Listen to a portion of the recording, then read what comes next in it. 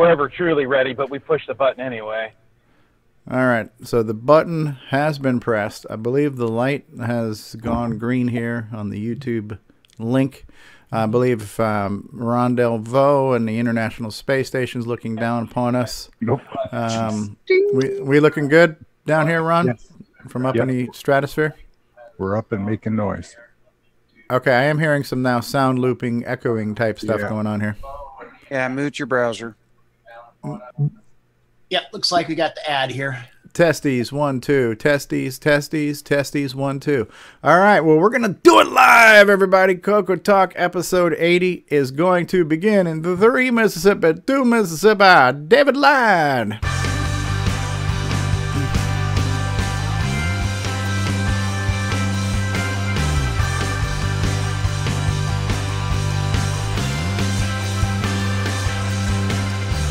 This is Coco Talk, the world's leading live talk show featuring the Tandy Color computer. Streaming live on YouTube and Roku, available as a podcast and enjoyed the world over.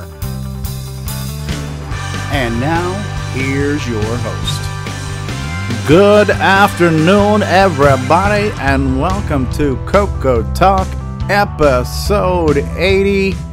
The show gets older, the content gets fresher, the excitement level increases each and every week. I don't know how we do it, but we do. It's the Energizer Bunny of live shows. It keeps going and going and going. And with us on the program today, we have back after an extended hiatus and bringing balance to the force and harmony to the retro universe with his Apple II in the background, Mr. Mark D. Overholzer is in the house. Thank you. Thank you very much. Oh, yeah, here we go. Thank you. Yes, you're too kind, and thank you. All right. And also with us on the program from Oh Canada, where weed is legal and he's happy, L. Curtis Boyle. How's it going, eh? It's going good. He's a happy guy. Let me put my knives down. Legally and, uh, too. And we're marijuana sold out. and from the land of where marijuana laws were always a mere suggestion in Southern California, Mr. Steve Bjork is with us today. Hey, how's everybody going? Yeah, just hey, you can just toke one back at the beach.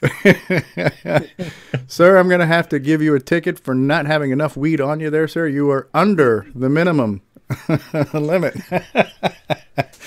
oh, dear Lord. And we also have with us legendary game designer, um, legend in his own mind, a guy who's very gracious and thanks us all each and every week. Mr. Rick Adams is with us. Thank you. You're too kind. You're way too kind. Thank you. Thank you. on the bottom of the screen here and on the bottom of the world, from down under, Mr. Nicholas Marentes is with us. Hello, Nick. Good day. Good day, everyone. How are you? Not bad, not bad. Up in the International Space Station in Zone 12, Sector Yep. 9, Mr. Ron Delvaux is with us. How's everybody? Good. We've got two for one traveling uh, show companions with us right now. Greg Leedy and Jason the Coco Man Reichert both being chased by hot pursuit law enforcement. Grant and Greg and Greg and Grant and Jason. How the hell are you guys doing? Doing great, thanks. All right, J- uh, Grant, you voted, right? Did your early voting? Yes, I just completed my voting for today. All right. Let's This was about this was for the Glenside election. Oh, I'm real late for that one. Ah. Vote Jason- early, vote often. And uh, I'm, is Nick Marotta in the audience yet? I haven't seen Nick Marotta here. Davey Mitchell is here. Rob Inman is here in the live audience. Tom C. Mark Overholzer. Al Hartman from Jersey. Uh, Tim Franklin, one of the first people in the live chat. William Carlin is here. Uh, we don't see Nick Marotta in the chat yet, but it wouldn't be a show without Nick Marotta. So hopefully Nick Marotta will show up here at some point and time. We're here. It's a Saturday. We're going to talk about one of our favorite things the Tandy Color computer, the retro hobby, our geeky obsessions with things that other people would not understand or appreciate. And on that note, does anybody have a um, project update, public service announcement, um, birth announcement, uh, bar mitzvah, anything else you want to share with the group? I have one. Uh, Go ahead, L. Curtis. It's an unupdate, actually. Uh, originally, originally, I was planning on having the EOU Beta 2 out at the end of October. I've now finally got some free time this weekend, but I realized the date's October 27th, so I'm not going to get a heck of a lot done in four days. So I, I think I will just delay it till the end of November. That'll give me time to actually make a, an update that's worthwhile having. All right. So ease of use, NitrOS-9 update. Yeah. I've got a list of 15 slips. things to work on, so I got lots to do. So Wow. Um, just out of curiosity, Ron Delvaux, have you had any time to post anything to Facebook this week? I've posted one, maybe two items. in the last five minutes, I swear, Mark Zuckerberg should have you on his payroll for. Uh, They're Uh, worth nothing. Uh, it wasn't much. Mark Bosley has joined us in the live chat saying, Hello, Mark. Hey, Mark, I have a question for you. Hey, you got your Coco 3 yet? There you go. and what's the answer? Thank you. Yes, you're too kind. And thank you. There we go. It never gets old. Uh, Jason, the Coco Man Reichert, have you been fulfilling orders of switcheroos and other products the world needs? Uh, we are fulfilling switcheroo orders. Uh, we are par- preparing for Tandy assembly coming up here uh, very soon. What, a couple weeks, and uh, and uh, working on uh, working on that possible new product that uh, will debut at Tandy assembly. Ooh, new products. Teasing, teasing, So- teasing, teasing. So, how is the worldwide demand for switcheroos, by the way? Um, it, it's doing well. Uh, we have 100% saturation in Uruguay. And Cloud9 say as much? You've probably got at least 30% saturation in uh, Australia as well. Any Australian switcheroos? Uh, wow. Okay. I've, I've shipped one one there, and uh, uh, just recently had the first one go to the United Kingdom. Hey. And uh, yep, so we're we're uh, we're we're adding we're adding uh, more countries to the uh, the uh, switcheroo family. how, how are Antarctica sales? Pretty weak. Uh, very cold right now. Sales are cooling off a bit. You're saying? Okay. Yeah. What about Russian orders? You need orders from .ru? I, I I did get an email from this is not a scam. Dot ru, but This uh, is not a scam. I haven't had time to look into that one. It, it's uh, looking promising. yeah. Um, one of the websites we set up a while ago was the um, the we set up a Rainbow Online, which I don't think it necessarily went anywhere, but it's been sitting there forever, and it's a WordPress site where you could register to post your own stories. If the, there's not a day that doesn't go by that I get an email that somebody from Russia has registered for the Rainbow dot Online. I know a lot of people read the Rainbow in Russia, so it makes perfect sense that there's daily registrations for that. It was, it was a valid registration, yeah. Yes, yes, yes. So They're actually all just trying to submit articles, right? yeah, and so um, Mark is Mark saying, do we have a first time? Mark Bosley says this is my first time watching this show ever. Well, you well, you're in And he, for. has, and he has two We're sorry. A real treat. Let's apologize in advance. Yeah. Do we have your uh, address so we can send you a complimentary Yeah. apologetic gift? This is what we. This show is known as the. Uh, the train wreck has already begun. So At, the- at the very least, we can send aspirin. or ibuprofen or Tylenol, whatever you take. Hey, Mark, just remember this show is a bit of a variety show. So if there's a particular segment that goes on and on and on and on, and you get the idea, uh, there'll be something better. You know, just, Just go wait. off, do something for a while, come back. Yeah. Yeah, it's like a variety show. Yeah. sure. And then that segment that you like will only be about two minutes long. And usually it's the ending credits from our survey with Jim Brain. So Yes, yes, yes. Jim's favorite part of the show. Uh, Nicholas Marentes in Australia. Have you made any progress on uh, Funstar lately? Uh, not a fun Gunstar. Um, yeah. I've been uh, working on the uh, tile map editor. So I have, if anyone wants to see what I've done, I can show that later in um, Core Dump. Okay. Um, Yes, Yeah. yes, please. We're going to have a core dump. We're gonna have a well, core dump. unless yeah. someone's got any other questions, any technical questions, we can uh, answer uh, some technical question uh, during Core Dump. Steve and Rick, did you want to do your little assembly questioning stuff during that segment? Um, that might be a good time. Depends on how long Rick can stay with us. Okay. Right. I, I, are you pressed for time, Rick? Should we maybe talk about some of your stuff before No, we no, get into no. the show? After no, I did yard work before the show, and then after the show, I'll do more yard work. So you Ah, okay. You're you're you're squeezed in the middle. So Okay. so yeah, we could do that. Okay. Okay. And there's So today is probably going to be a fairly heavy show on on software development talk, and that's not necessarily a bad thing. So, but if uh, not all brains are wired the same way, so um, you know, just fair warning, we're going to be talking about assembly language programming and, and God knows what else along the way. Um, one of the things I do want to say, well, there's a lot of things I want to say thank you for. Um, I do want to Thank say Thank you. Yes, you're too kind, and thank you. but last week we had a very fun three-hour marathon playing Dungeons of Daggorath, where we did we did Daggorath After Dark, a very special uh, edition of Coco Talk After Dark. We made it to level four on Dungeons of Daggorath. Made it past the fake wizard. We're one level away from the real wizard, and um, that was a lifetime achievement for me because I don't think I maybe maybe made it to level three back in the day doing it off cartridge. Um, Paul Fiscarelli is here. Hey, Paul. Um, and uh, so I had fun doing that. So I want to thank you guys for um, for being along for the ride, helping me out, and just being there for moral support and sharing the fun of the, of that game. And I was thinking maybe if we have time, we could uh, do some more tonight because maybe we can beat the dungeon tonight after uh, in an after dark session. So uh, you guys Save let me a know. lot.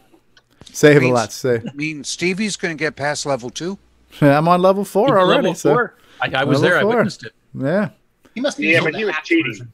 No was fake news there. I was saved games. Got to save, save, and save often. It's just like you, you know, working in a Microsoft product. Yeah, how much did when I beat help it, I had to save like crazy too. I mean, I, Hmm. I, I only know a couple of people have been able to go through it without a save to win the game. That's that's darn hard. Yeah, and we got a comment on the video. Uh, I think it was Mr. Robot Shop or one of the retro channel or something. The guy posted a video a long time ago where he showed off Dungeons of Daggorath, and his strategy, which I've read in the past too, was to repeat levels one, two, and three several times. Where after you've made it to level three, before you go down to beating that fake wizard, go back up to level one, clear that out, go to level two, clear it out, go down to level three, clear that out, rinse, lather, repeat. And when you do that enough times, you are so strong where even the final wizard can't completely harm you. So uh, I don't know how many times he didn't specify how many times he did it, but in his video demonstration, he's like, "Look, I'm going to show you guys the wizard."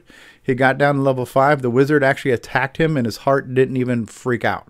So he was that strong where he could take an attack from the wizard and um, finally kill it and reveal the wings. So I've actually seen what the end looks like, but even though I've seen it, I want to experience it. You know, so um, nothing like doing it for yourself. So so that was a lot of fun. So I want to say thank you guys for that, and obviously every week you guys who get together here on the panel and everybody who gets with us on the show to watch this show. Um, you know, uh, just thanks. It makes it makes doing this fun. So this is my favorite part of the week. Uh, all right, so we're gonna jump in. How about we do real quick? Let's let's acknowledge some of our community sponsors, and maybe we'll take a quick commercial break, and then we'll jump into assembly. Um, so here at Coco Talk, we like to acknowledge the people and places and things that make up our community, especially those who are making things for us in the community to enjoy. So I would be remiss without mentioning the Coco VGA project. A lot of these people will be at Tandy Assembly in a couple of weeks too. So Coco VGA project at cocovga.com. Very cool way to add VGA clean output with artifacting and lots of other bonus goodies to your Coco. Check them out. I wonder if we'll get visited by Richard Lorbieski today of Boyson Technology, maker of the Boomerang, hottest selling product for the color computer since the switcheroo. Two megabytes, blinky lights, MMUs, you name it, it's got it. Check that out at boysontech.com. Our favorite troll and creator of many retro things, Jim Brain and Retro Innovations at go, the number four, retro.com. You can get accessories for your Commodore TI and color computers. Cloud9 Technologies has been making uh, Coco stuff for 20 years or longer, so you can check out cloud, the number 9 tech.com. Uh, cool project, sdpack.com, how to make a self booting uh, ROM pack on an SD card for your Coco SDC. Our very own Jason Reichert, creator of the Switcheroo, you can check that out at coco3scartcable.com or um, uh, cocoman.biz. Thank you to Roger Taylor for getting us live on the air on Roku on the Coco TV channel, streaming live, multi streaming. Um, our very own merchandise for Coco Talk and the color computer and all kinds of good stuff you can get at our retro swag shop. Mark Overholz was wearing one of the shirts. You can't see it right now, but we got Coco Talk shirts and so much more at 8bit256.com. If you're a fan of the color computer, check us out at IMA, IMA, coconut.com for all things color computer. You can reach us here on the show at cocotalk.live. Let's not forget the Coco Crew podcast each and every month, bringing us some good stuff at cococrew.org. Good friend of the show, Brian Joyce at Extractus Productions, FD501. And last but certainly not least, Ed Snyder, maker of many things color computer related at the Zippster Zone, Z I P P S T E R zone.com. Check him out. All right, so we're going to take a quick commercial break and we'll be back and we're going to jump into some assembly language programming with Steve Bjork. We'll be back, everybody. Greetings, YouTubers. Atari Leaf here, and you're listening to Coco Talk.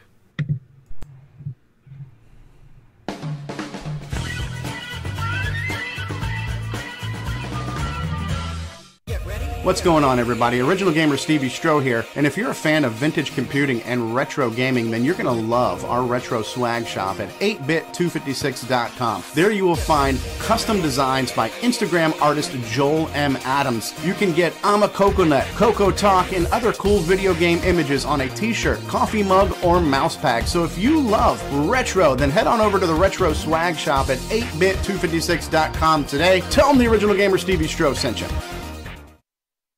At GSoft, we make games for the TRS-80 color computer, TRS-80 MC10, and Dragon computers. Our basic games cover the range of genres from arcade, to text adventures, to simulations, to 3D dungeon crawls. This is our latest puzzle game from Japan, Fruit Panic. So come on and drop by our website and download our latest games. Radio Shack has a great gift idea for the whole family. Fast action TV games, and they're on sale. Get this six game model for $29.95 or the four game model for $21.95. With rising entertainment cost, that's a real bargain. You play hockey, tennis, squash, and more. Easy to hook up and great family fun that lasts all year long. The sale price TV games. Only at Radio Shack a Tandy company. Easy to hook up. Just get out your screwdriver. Now we turn you to Coco Talk. Can you even fathom some uh, some person of today's day and age saying, "Yeah, I want to hook up my uh, hook up my game system. Where where's my screwdriver for that easy hookup?" I think they'd be too fascinated by the graphics to notice all the hookup. easy hookup. Uh, very few pieces of toolery required to hook this thing up here. I want to play squash. Squash. That's uh, not only is it a delicious uh, vegetable, but it's also a game. So have Evelinas love it the here. light gun. the light gun. Yeah, I have that one. That has the light gun. It looks like an old revolver there that was in that commercial. There, I have one of those. I, Colt 45 long. Is it a light gun or is it a freaking laser? No, like Nick Marotta has joined us. Hey, everybody! Nick Marotta's here. Everybody, say hi, to Nick Marotta. Hey, Nick. Hi, Nick. Hi, Nick. Hello, Nick Marotta. Nick Marotta is here. So, uh, for the benefit of somebody who's watching us for the very, very first time today, we for for over ten weeks now, Steve Bjork, and uh, if you're not familiar with Steve Bjork, he's that guy who made Audio Spectrum Analyzer, right? So, uh, amongst other things. so Steve Bjork has been taking us through how to talk to the 6809 assemble uh, 6809 processor, teaching us the registers and some of the language and commands, and building a nice, wonderful foundation for us to understand that CPU. Today, we're going to take it beyond the theory, and we're going to jump into practical application. We're going to be looking at um, you know, source code and assembling things and looking at things. And John Lowry is here. Yo, yo, Stevie Strow. Yo, yo, yo. What's going on with you there, John Lowry? Um, so, are we ready to jump in, Mr. Bjork, and, and start talking about uh, segment 11, 11, session 11 here in our ongoing series? I think we're about pretty much ready to go here. Um, just a word of warning I'm actually going to have in the slides the entire assembly language for this simple demo of a bouncing ball on the screen. And actually, before we actually start that, is there a way you could bring that up for people to see, Stevie? Uh, the, do you want to see it in the slide or you want to see it in Notepad plus plus? I've got it open up in both actually. Oh no, no, I actually want to see the executable. Oh, the executable itself. What it's going to do, so they get an idea. Yes. Bear with me one second here, and let me Okay. just um, let me just hit uh, up arrow and repeat my last command. Um, so asem space dot move VCC. All right. Let's get it up on the screen. Let's get VCC going. Let me, um, of course, I'm not sure if I go to full left screen here. And by the way, the, the fact that I was able to do this this quickly is thank you to Paul Fiscarelli setting up his Long Branch Never environment for us, where we can now run uh, editor. So uh, it's bouncing. I don't know how well you can see it because VCC is running small. What is a way to get VCC to run full screen? Uh, I don't even know. Isn't there a way to make VCC bigger? Isn't there like a two x two x uh, zoom or something? Uh, I don't know. Yeah, you have to I'm go a- to um, config, Config. Yeah, display. and then display, and then Frame skip. Composite, scan lines, F8 throttle, allow resize. There we go. That's it. We're going to hit allow resize. So now if I maximize, okay, so the aspect ratio is distorted. However, we can see now by me maximizing this that what we have on the screen here is a bouncing ball or dot or pair of pixels, whatever you want to call it here. See, folks, this is my version of Hello World. it's got to be graphic related. You know, it's it's this is a very simple basic program. It's only about 160 bytes in size, and uh, that includes the initialization that you need to do for the Coco to display a P mode four screen, clear Okay. it, and then actually move the dot around on the screen. And set the color. hmm There we go. All right. Well, why don't we uh, uh, stop that? And we okay. You got the slide there. Little off the screen though. Uh, actually, I think I'm all the way at the bottom of the slide. That's why. Okay. All so- right. Just it's my monitor. Sorry. Okay, let me get to the top of the slide and uh, yes. Okay. Okay. And I'm going to bring up my copy uh, myself here so I can follow along too. Make sure I get everything right here. But basically, uh, what we're going to do is basically go through this program, which has some information that you need to set up so that the program knows about the color computer. See, that's one thing about BASIC when you program it, it knows about the machine it runs on.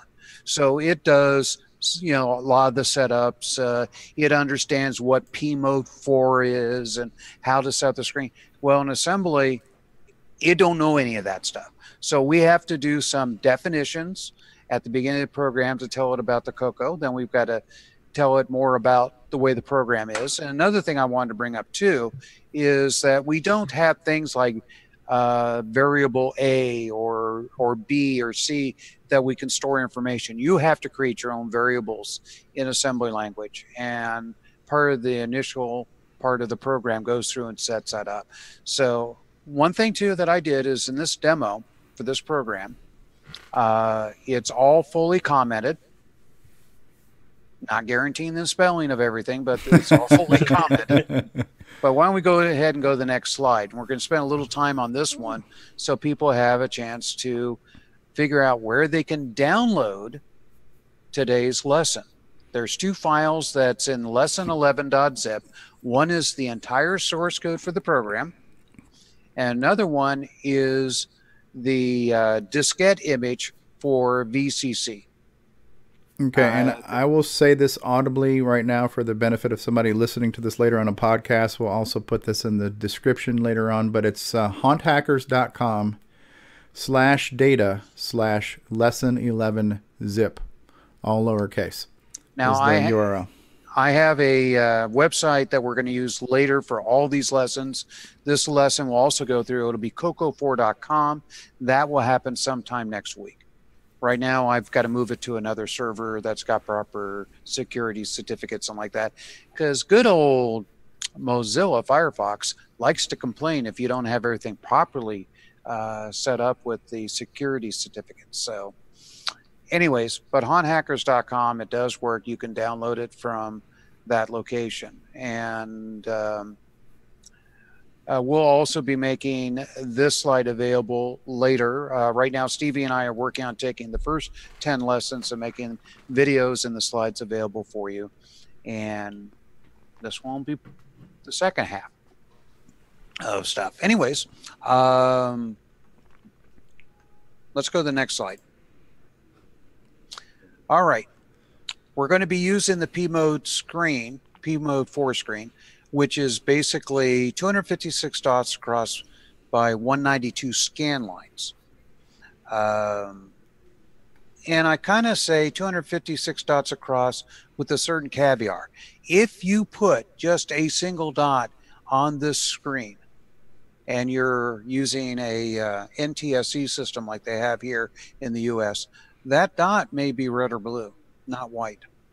So one of the things I'll be doing is actually making the, the dot that moves around the screen two dots wide because then it'll actually come out as white. And that's because of the artifacting in the mode like that. So that's part initially we're going to have a, a dot which is actually physically two dots wide for our ball moving around on the screen. Let's go to the next slide.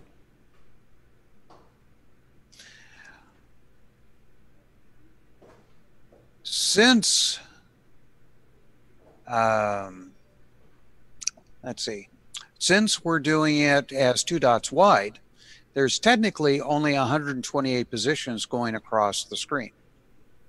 And that's to keep it white no matter what position you put it in. Exactly. So uh, and the way this particular mode works is that every single byte of screen memory contains four dots. And what they do is they use two bits together. Whether this would happen to be a P mode uh, screen, which is uh, P mode 3, that's the one that has that beautiful green, yellow. Uh, I don't even use that mode anymore, so I can't remember. Blue and red. Blue and Yeah. red, yeah. And then, or the alternate color, color set, which is even worse, which is the uh, what do they call it? Buff, cyan, magenta, and orange. yeah, it's just yeah. That's the reason why when I was doing this stuff all the time, I was um, using this Mode four screen just to make sure that uh, things didn't. Um, well, they, well, let's put it: black, white, red, blue is much more colors, better colors for especially space games. So, but anyways, on this particular mode, we're trying to make sure that um, when it comes to putting the dot on there, we want two dots next to each other so it doesn't shift in color as it goes across the screen. And this little pattern that you see here on the third line is the binary pattern showing the bits of the byte. And you can see the first, you have one one followed by six zeros. That would be the dot on the most left hand side of that byte. In other words, if it was the first byte on the screen and you want it to be the first dot, you would use that first pattern. Then if you move it over one, you would use the second pattern where it's a couple of zeros, couple of ones, followed by four zeros. That physically moves the dot over one more. Same thing for the last two. It's moving the dot more and more. Once you get um, past that fourth location, that byte, then it goes to the next byte and starts over again at the beginning. So that's how the graphics memory works is the highest bits are the most left side of the dot dots in that byte and etc now if you were doing it strictly as one dot uh, per dot i mean one bit per dot you would have just using one of it would be like one followed by seven zeros and like that. Now if you're doing 16 color mode like on the coco 3 you would use the top half or four bits to represent one dot, and the next four bits would represent the other dot. So you only have two dots per byte. Yeah, Uh, and if I could just if I could just take a moment here to say Yeah. this this might um, help if anybody was trying to still trying to chew on binary and not quite getting where the bits fall into it. And I think Curtis, you had mentioned this in the past in, in the past too, but moving a bit around seems to make a lot of sense on the P mode 4 screen because it's one bit per pixel. So Right. in this case here, we're looking at one byte, which is eight bits. And Mm-hmm. everywhere you see a one, this is a pixel that is turned on. Remember, binary is on or off. So we see two solid pixels followed by six empty dots, and then it shifts over two pixels. So now we can see that we've got uh, two pixels. We got we got two leading zeros. We got two pixels. So the ball just moved two pixels to the right. Now it's moved four pixels to the right. Now it's moved six pixels to the right. So you can, uh, in in a way here, even though we're still looking at zeros and ones on a slide, you can kind of see where it's a little bit more visual now. There's two pixels kind of panning through these eight. So if Yeah, you were you can if- actually poke these on the screen to take a look at if you want to see it even from basic. Just Right, kind of right, Sit so- down and get a visual cue as to what you, what you're doing. Yeah. So, Exactly. um, um, and so hopefully this will make even more sense when we start looking at the demo. Again, I love this here too. John Lowry says there are two types of people in the world: those who understand binary and those who don't. Of course, that's written in binary, right? So, Right. uh, Exactly. I love, I love that joke.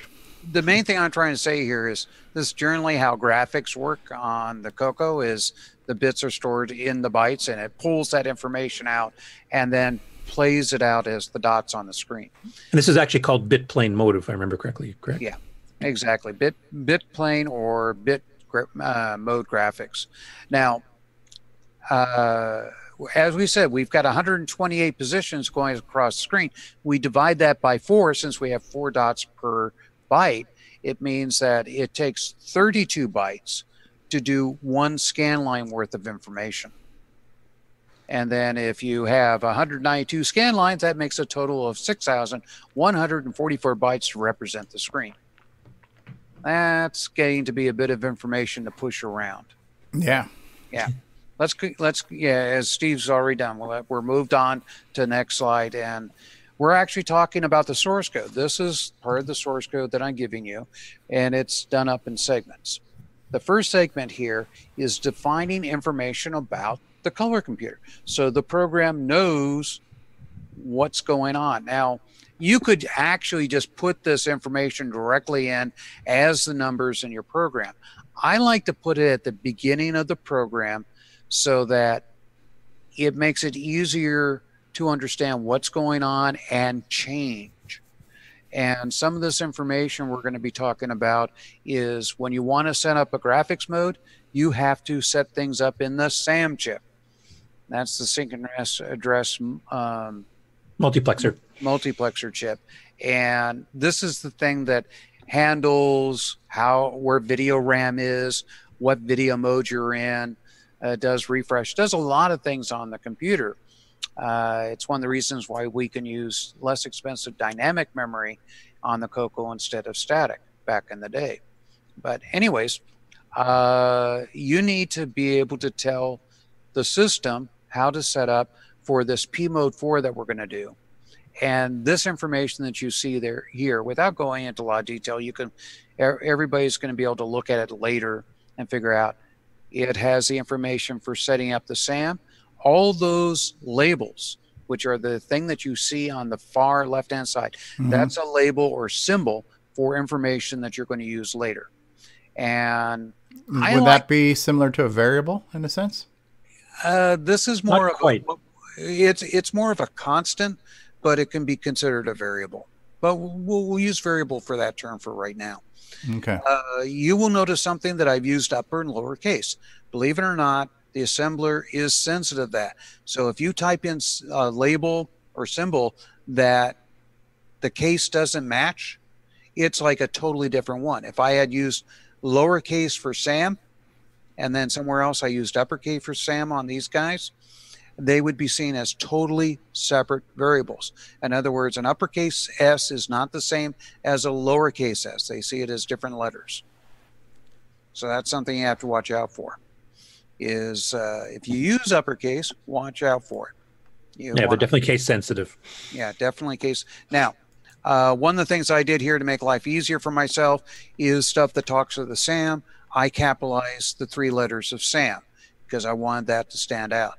The other uh, letters that you see there, uh, VReg, for example, is talking about SAM's video mode registers. And I try to make the symbol somewhat Self-explanatory. self-explanatory. Exactly. Being that SAM is an acronym, it would make sense to have it as capitals. Yep. And the last two lines down at the bottom have to do with setting up the video display port, which is FF22 on the Coco. This is one the PIA is on there and puts out information to the video display generator. That also needs to be set up. So that's what those last two lines are doing. They're what port you're going to have to put information out to. And guess what? The next line is the information you're going to put on that stupid port. so And I will uh, mention here too. I mean, you can write assembly language where you're you're changing the values in these memory locations directly, like directly doing a story at FFC zero or whatever to set up your SAM, your VDG, etc. But if you try to look at the code, you know, six months later, or if somebody else is trying to look at the code, they have to try to like look up in a table or chart somewhere. You know, what what does that memory address do? I can't remember type thing. So having your labels set up like this, so it's much more self-explanatory, it really helps you debug your code. By the way, the comments that you see on the left hand side do not affect your program. Be verbose. Label more than you think because at some point you're going to come back and look at your code and it's going to say, What the F? you need these comments to explain to you. So while you're writing the program, if you need to put down two or three lines to explain what that one line of code is doing, do it. Yes. It just makes life easier for you later. I can totally vouch for that after going through NitrOS-9 code I wrote 20, 25 years ago. Mhm. Okay, let's go ahead and pop to the next uh, slide. All right, this is more definitions. We're going to define information about the screen, the graphic screen that we're going to be doing stuff to. Uh, the max dots of X and Y, that's the size of the screen. Uh, we've got the number of bytes per line. Yes, I could put the number 32 in the program, but this just makes it much easier. Also, there's different modes on the Coco that have different number of bytes per scan line, especially in the Coco 3. And there's a typo there. Uh, it didn't get the Y when I typed in bytes. Oh well, in the in the documentation. Ah, yeah, in the comment, I see that. Yeah. Yeah, yeah. Okay. And then it's got a location for where screen memory is at, the size of the screen. And this last one's going to be used much later in the program. This has helped me to understand how many CPU clock cycles there are in a 60th of a second. Just something I'm going to use later in the program. Easier to put it up at the beginning to define it. See, if I was running at double speed, I wouldn't want to, I would want to change that number. Mhm. Okay. Yeah. See, it makes it easier to modify your code because you change it in one spot and it affects the rest of the program. Yeah, every reference to that label later on will use whatever changed value you do up at the top here, so you don't have to remember to change 15 different lines later on in a large program that all had that same value being used.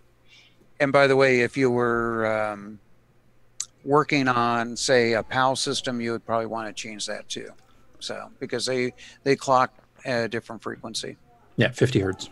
Yep. Anyways, um, remember before I said there's no such thing as like variables like the letter A and letter B, and you have to kind of define your own variables.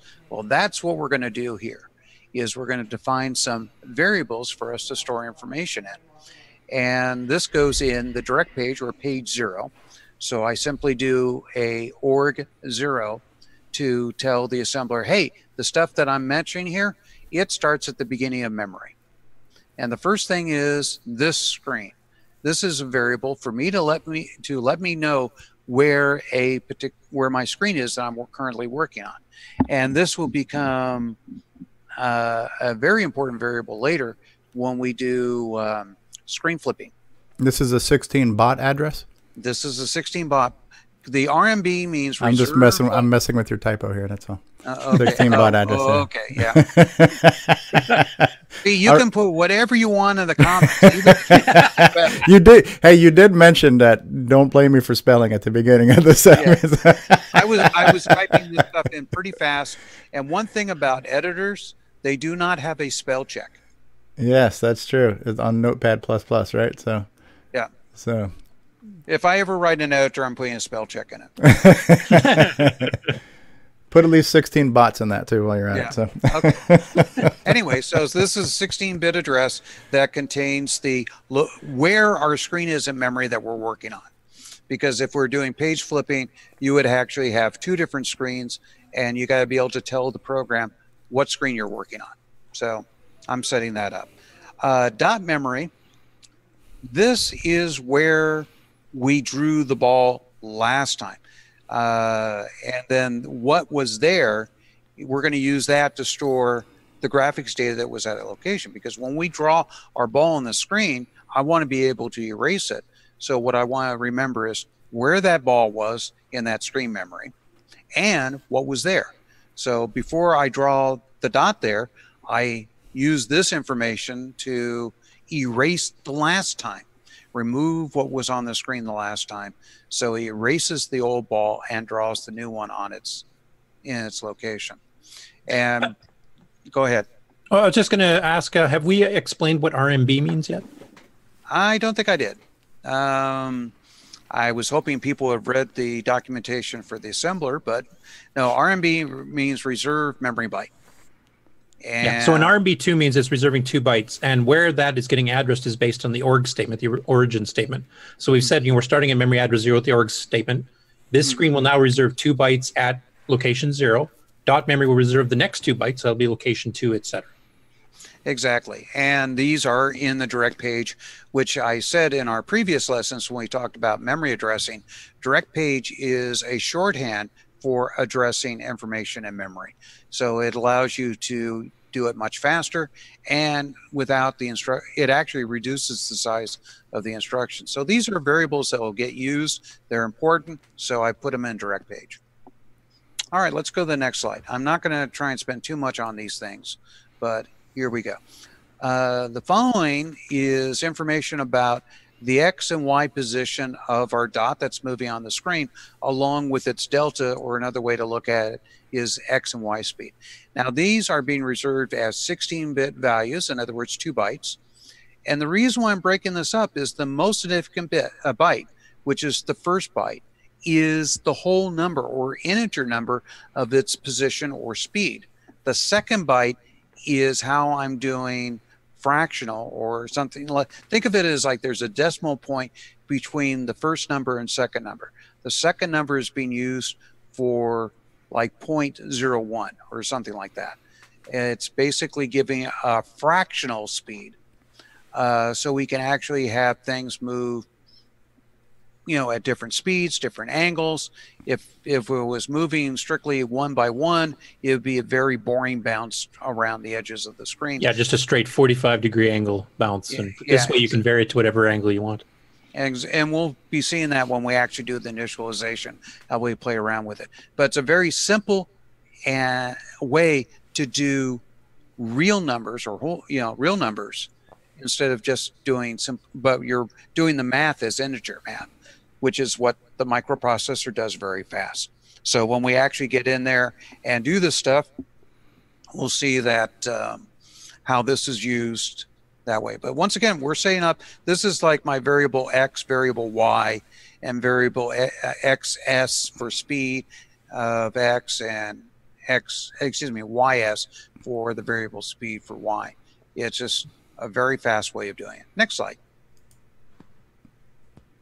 in programs and by the way the org 3f00 that is setting up in the la- at the end of the first 16k of ram.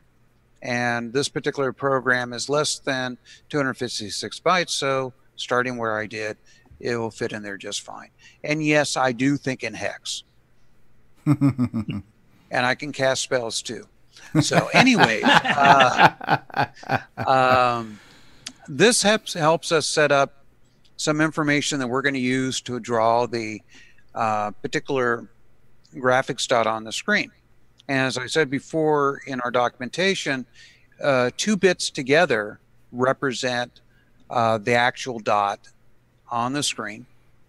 And you have to do two things when you're going to put something up on the screen and you don't want to destroy the graphics that are around it.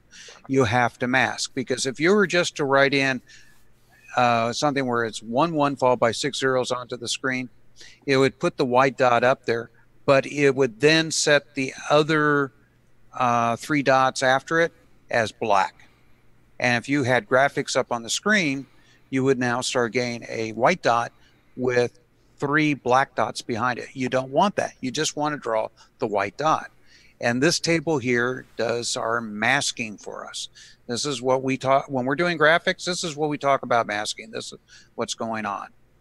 So the first byte allows us to figure out which bits we're going to change and which ones we want left alone. And believe it or not, it's the zero bits that we want to change and the one in our first example and the one bits we don't. And what we're going to do is we're going to and this to the screen. So we're going to take what's on the screen and this, and it's going to take the dots we want to change and make them zero. Well, that just takes the dots we want to change and make them black. Well, the next byte, we OR to that information and it makes those dots white again. It looks like a long ways to go around it, but what it does is it forces us only to change the first two bits and leave the other bits alone. Leaving your background graphics. Exactly. untouched. The first byte is the mask. The second byte is the actual color that we're putting in there. Now, So Stevie, that- you, you actually demonstrated this in, in one of your basic lessons when you're doing a little spaceship with a see-through window, if I remember Mm-hmm. correctly. is is there a way that you can think of explaining this if, you're for anybody that's new to masking? That might be easy to easy to understand. well, it's so we're talking about doing like the the paper cutout of the screen behind Yeah. it before we put it on there. Exactly. And, and so we're basically cutting out, in, in in this case here on on the first line, these two zeros is what we're cutting out. So we're basically saying in this one byte or this one group of eight pixels on the screen, we're going to cut out a, a hole of just two pixels, but we're going to leave the rest of that alone. And in the second pass, we're going to fill in that hole with whatever part of our image that we want to put on there. Um, and so because it, it we're dealing with black and white, it's almost irrelevant. But when we're dealing with colors and backgrounds, you have to respect what's there. You have to respect what other bits were already on the screen. So you go on with a mask. Think about you're going to put a masking tape over before you spray paint, right? So everywhere the everywhere the tape is is not going to get covered. So we're just taping off the screen that we don't want to get painted, right? Okay. I, I, everybody on the panel got that? I just figured since Stevie's more of a, be- a beginner on this uh, on assembly language, he would probably be able to explain it better than either one of us could. yeah. Okay. Well, let's go to the next slide. Very. All right. We're going to actually do a subroutine next. This is a routine that I'm going to actually use twice in the program. So uh, subroutines allow us to write the program once and use it many times. Uh, this little bit of code. And this one here has to do with setting up the SAM chip. Now, most of the time when you talk and you're setting up information for things that are connected to the computer, you have an address you talk to and you send it data, you know, like store number to it. Not the SAM. The SAM is a very weird thing. It's you have to sit there and look at even and odd addresses. If it's even, you're you're clearing the bit. If it's odd, you're setting it. It's just a funky way to do it, but hey, Yeah, basically, they mapped it so that every bit on the SAM requires you to write or read an entire byte. Yeah, uh, uh, look, it's it's the fact that you're writing even or odd sets or reset the bits, and that's basically if you if you just get from there that you have to write to memory locations that are even or odd to set the information. That's all you need to know. And uh, what I like to do when I do my routine is I like to explain with comments before it what registers are used, how they're mm-hmm. used, what's information's going in, what registers will get changed, and if those registers that are passing information in are changed, I like to know about it. So basically, I'm using the registers that are built in the CPU, the A, B, and X registers, to pass information to this routine so it knows what to do.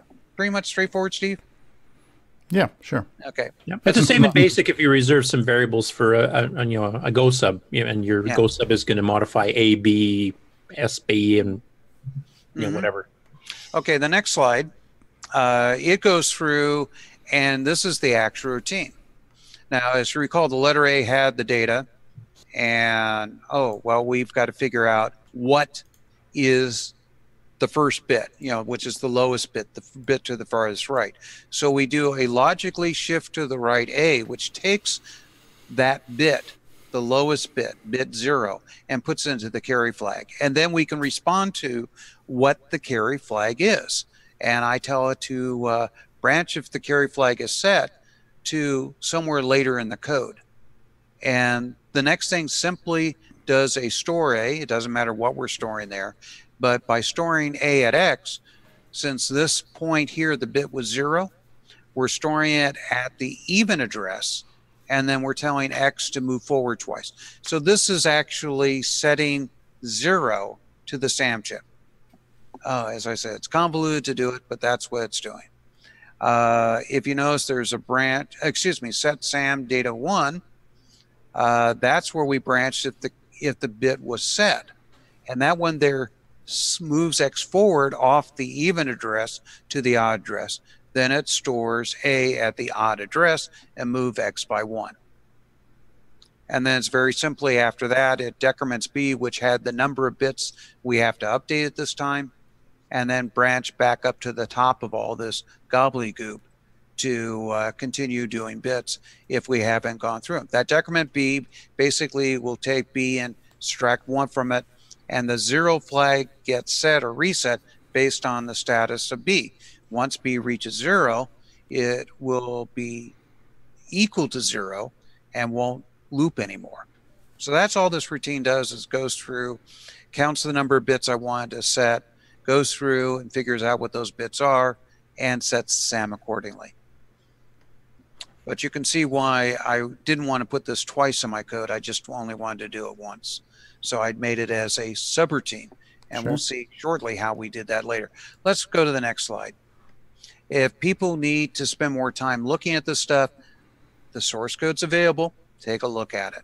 Yeah, and also feel free to pop in on Discord and ask any of us questions on it. We can help you out if you have any questions. Uh, definitely. All right. Let's actually get into the start of the program. And I use the word start to as a label to say this is my starting point. It just other people use entry, uh, other people use other names. It doesn't matter. I like using start. Yeah, I know some people like to use the name of the program itself as the entry point too. So if, if your program was called dot, you could call it dot.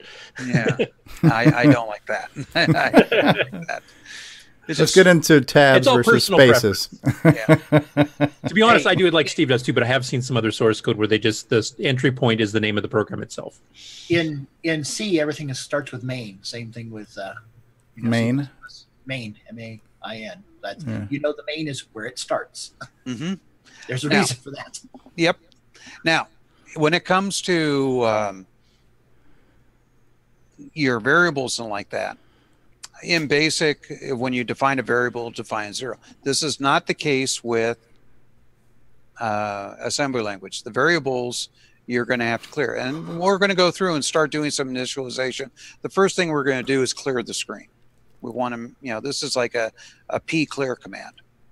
So what I do is I load up X with the uh, screen memory uh, location plus the screen size. And what this does is actually points X to just the, the one byte beyond all that. so one byte past the end of the screen. yeah, Right. one byte past the end of the screen. The reason why is I'm going to be using the um, decrement X option when I'm moving along. But as you notice, the minus sign is before the X. That means it gets first before X gets used. So when I do the clear X comma minus X, hmm or yeah, the clear comma X minus, it will decrement first and then clear the byte. So we had The- to start off one one to the right because we're going to be subtracting before we begin. Before we, yeah, exactly. Exactly. And then to figure out have I've gotten to the beginning of memory and all clearing this stuff, it does a uh, compare X with screen memory. And that's the beginning of screen memory. So if we if we still have not reached that location, it will loop back and clear. So this is a very tight loop that does nothing more than clear out the screen, which is 1,000, excuse me, 6,144 bytes. As you can see here, I'm using these labels that I set up earlier hmm for screen size and memory, you know, screen memory and stuff like that. That way, if I go to a larger screen, I only have to change them in one place at the beginning of the program. I don't have to change them within the program. Right. right. And also for the pointer for the screen, like he was mentioning, if you're doing page flipping, so you have two screens, say one's at 2000, one's at 3000 hex or something like that, you could actually just change screen memory to 2000 or 3000. Exactly. Top part of the code, and it would instantly change the rest of your program to follow. hmm Exactly. All right. But that one just puts zeros into the screen. It clears it. Next slide. Ah, you're there already. Good.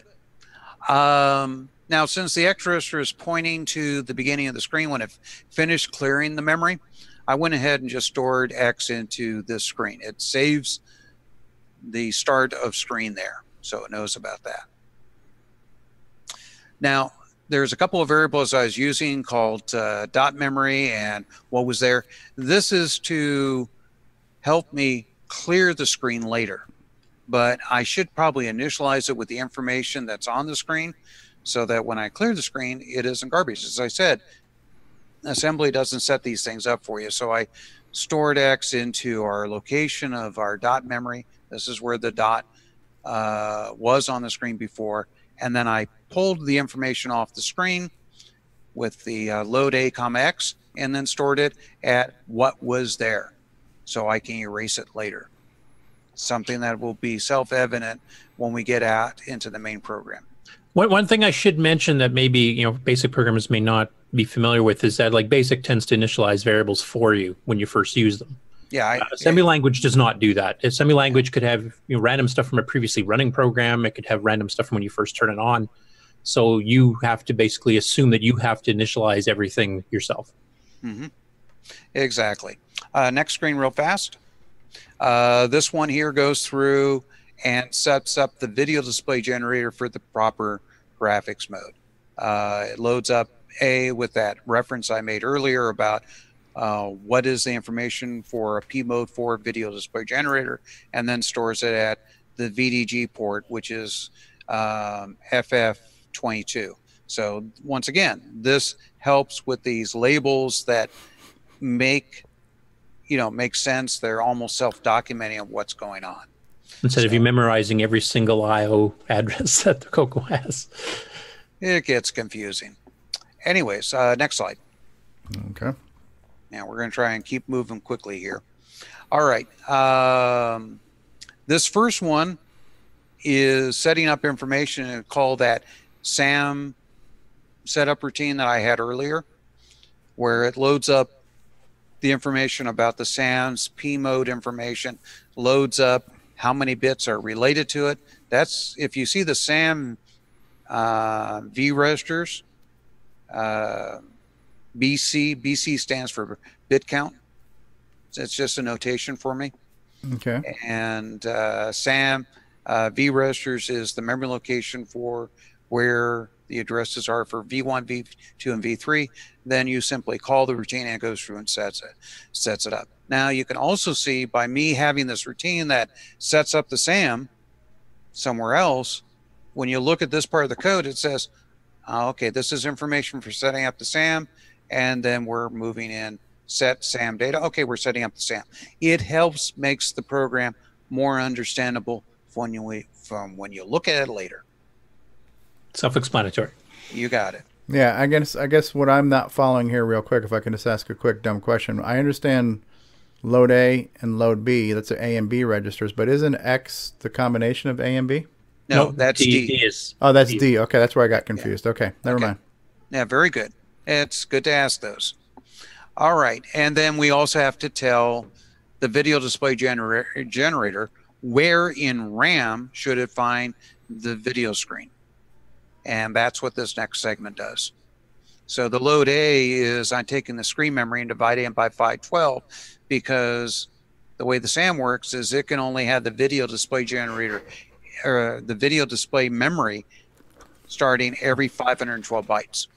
So it could be at location 0, 512, 1024. You get the idea. Mhm. Yeah. Anyways, let's go to the next one.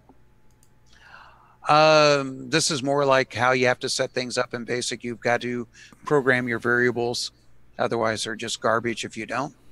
And this is basically setting up for the X and Y position. Now, remember before I said that the um, position is actually a 16 bit number where the first byte is the whole number of the position and the second byte is like a fractional.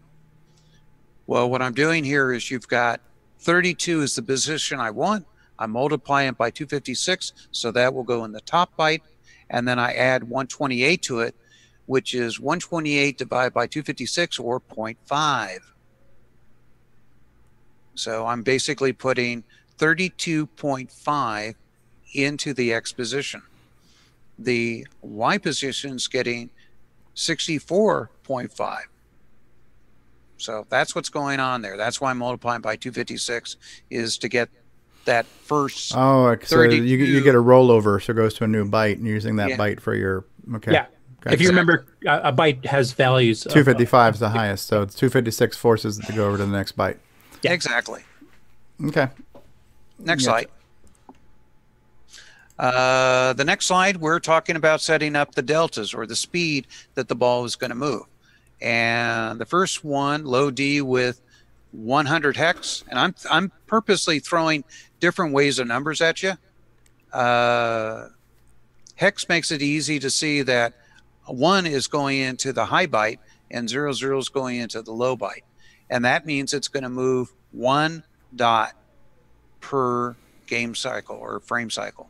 And just for reference, if he was doing it the same way he did on the previous slide, he would have done low D one times 256 plus zero in this case. Right.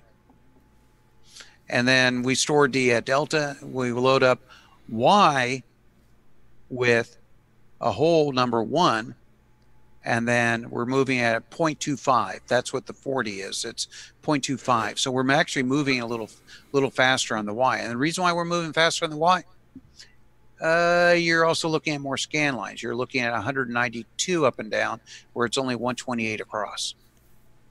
So I just decided to do that. It just makes for a more interesting display. Let's go to the next slide. Yeah. Steve's staying on top of this. I love it. Anyways, we're actually now at the main loop, the beginning of the per, the loop that we're going to go through and do everything. This is the key. And the first thing we're going to see here is we're going to update the X position by loading DU with X position, adding the X delta to it, and then we got to see did we go off the screen? And that's the number of dots across. Now remember, uh, the high byte has of the 16-bit value has the whole number in there. So I'm taking the number of dots across, multiplying it by 256. So we're comparing against the the high byte only, essentially. And did we move off the screen? Branch of lower means that we're still on the screen. So we're skipping to X in range. Means we're good. Let's go to the next slide. Well, since we uh, are basically going to go off the screen, well, we need to uh, basically reverse our direction. The way we do that is we basically do a negative to whatever our speed is. Easiest way to do that is get a zero into the D register by clearing A and B and then subtracting our delta, our X speed from it. And then So we zero store that- minus the current speed, which makes it negative. Right, exactly. It takes the negative of what we got. Now, by the way, if the speed is negative, it makes it positive. You take a negative from negative. So So in that is, case, there two wrongs make a right. You got it. and then what we do is we add that delta back to X position. We, we've got them back together in the D register. And if we go to the next slide, the first instruction there is to store that new position into the X position. So we've saved that. Now we're going to do the same thing with the Y. It's exactly the same. We're going to load up uh, into the D register the Y, go through, and um, let's see, uh, you know, check to see if we're still on the screen as far as the Y goes, and branch if we are. If not, we do the same thing with the negative. Where, uh, yep. Let's see. Let's go to the next slide. We do the same thing uh, as far as, you know, making the Y uh, negative, adding that new, um, you know, speed offset. Yeah. Yep. so yeah, and then speed adding it to the existing Yeah. Y Sorry. position. Sorry. And a notice came on my screen going, okay, what? and then we store it in the Y position. We're done. So we now new have the new X and Y position. Well, it's now time to calculate what that new X and Y position is on the screen. So we load up A with the top half of Y position, which is the whole number. Yeah, next slide. There you go. All right. Yeah, on the next slide. Sorry about that, Stevie. Okay. Then we load up uh, the B register with the number of bytes per line. And then we use the multiply. So what we've done is we're trying to figure out where in screen memory is this particular position. And we've now got that. Uh, we so when add you in- when you multiply when you multiply, it's always a times b. Yep. So you don't Yep. have to specify which register. No. Yep. no, okay. no. There's only one multiply. It's this one. So they just made it simple. So it's multiplying A plus times B, and then it's putting the answer in D, the Okay. two letter, two of them together. And so I add this screen. Remember that variable that we put together Mhm. in the direct page? That has our current screen. That's being added to the uh, what we've calculated. So we now have the position of the beginning of the scan line that is the position for this uh, particular dot. And then we transfer the D register into the X. So we now have an index register, which we're going to need later, pointing to that. All right, next slide. We now have to deal with the X position. And we actually kind of have to deal with the X position twice. First, we have to find the byte on that scan line that holds our dot. And then we have to figure out which one of those four positions in that byte is the dot. So we'll first grab the uh, X position, that's the whole number on the top, divide it by two twice, so we get to divide by four, because remember there's four bytes, four dots per byte. And the ABX, it adds whatever's in the B register to the X register. So And that yeah, then it figures out the the number of bytes from the left side of that current scan line the dot is supposed to go to. exactly. I was just thinking the math would have been a heck of a lot easier if we had an eight bit wide dot that moved one byte at a time. Why do it wouldn't it wouldn't be moving a dot, it'd be moving a stick. Well, you know, like uh, Stevie, if you remember, there's that 320 by 200 or 400, whatever it was, graphics mode on the PC that was 256 color. yeah, yeah.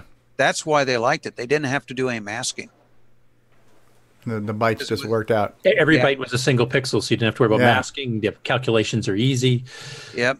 Yeah. That's why they did. Not to give you 256 colors. It's just freaking easier. Okay.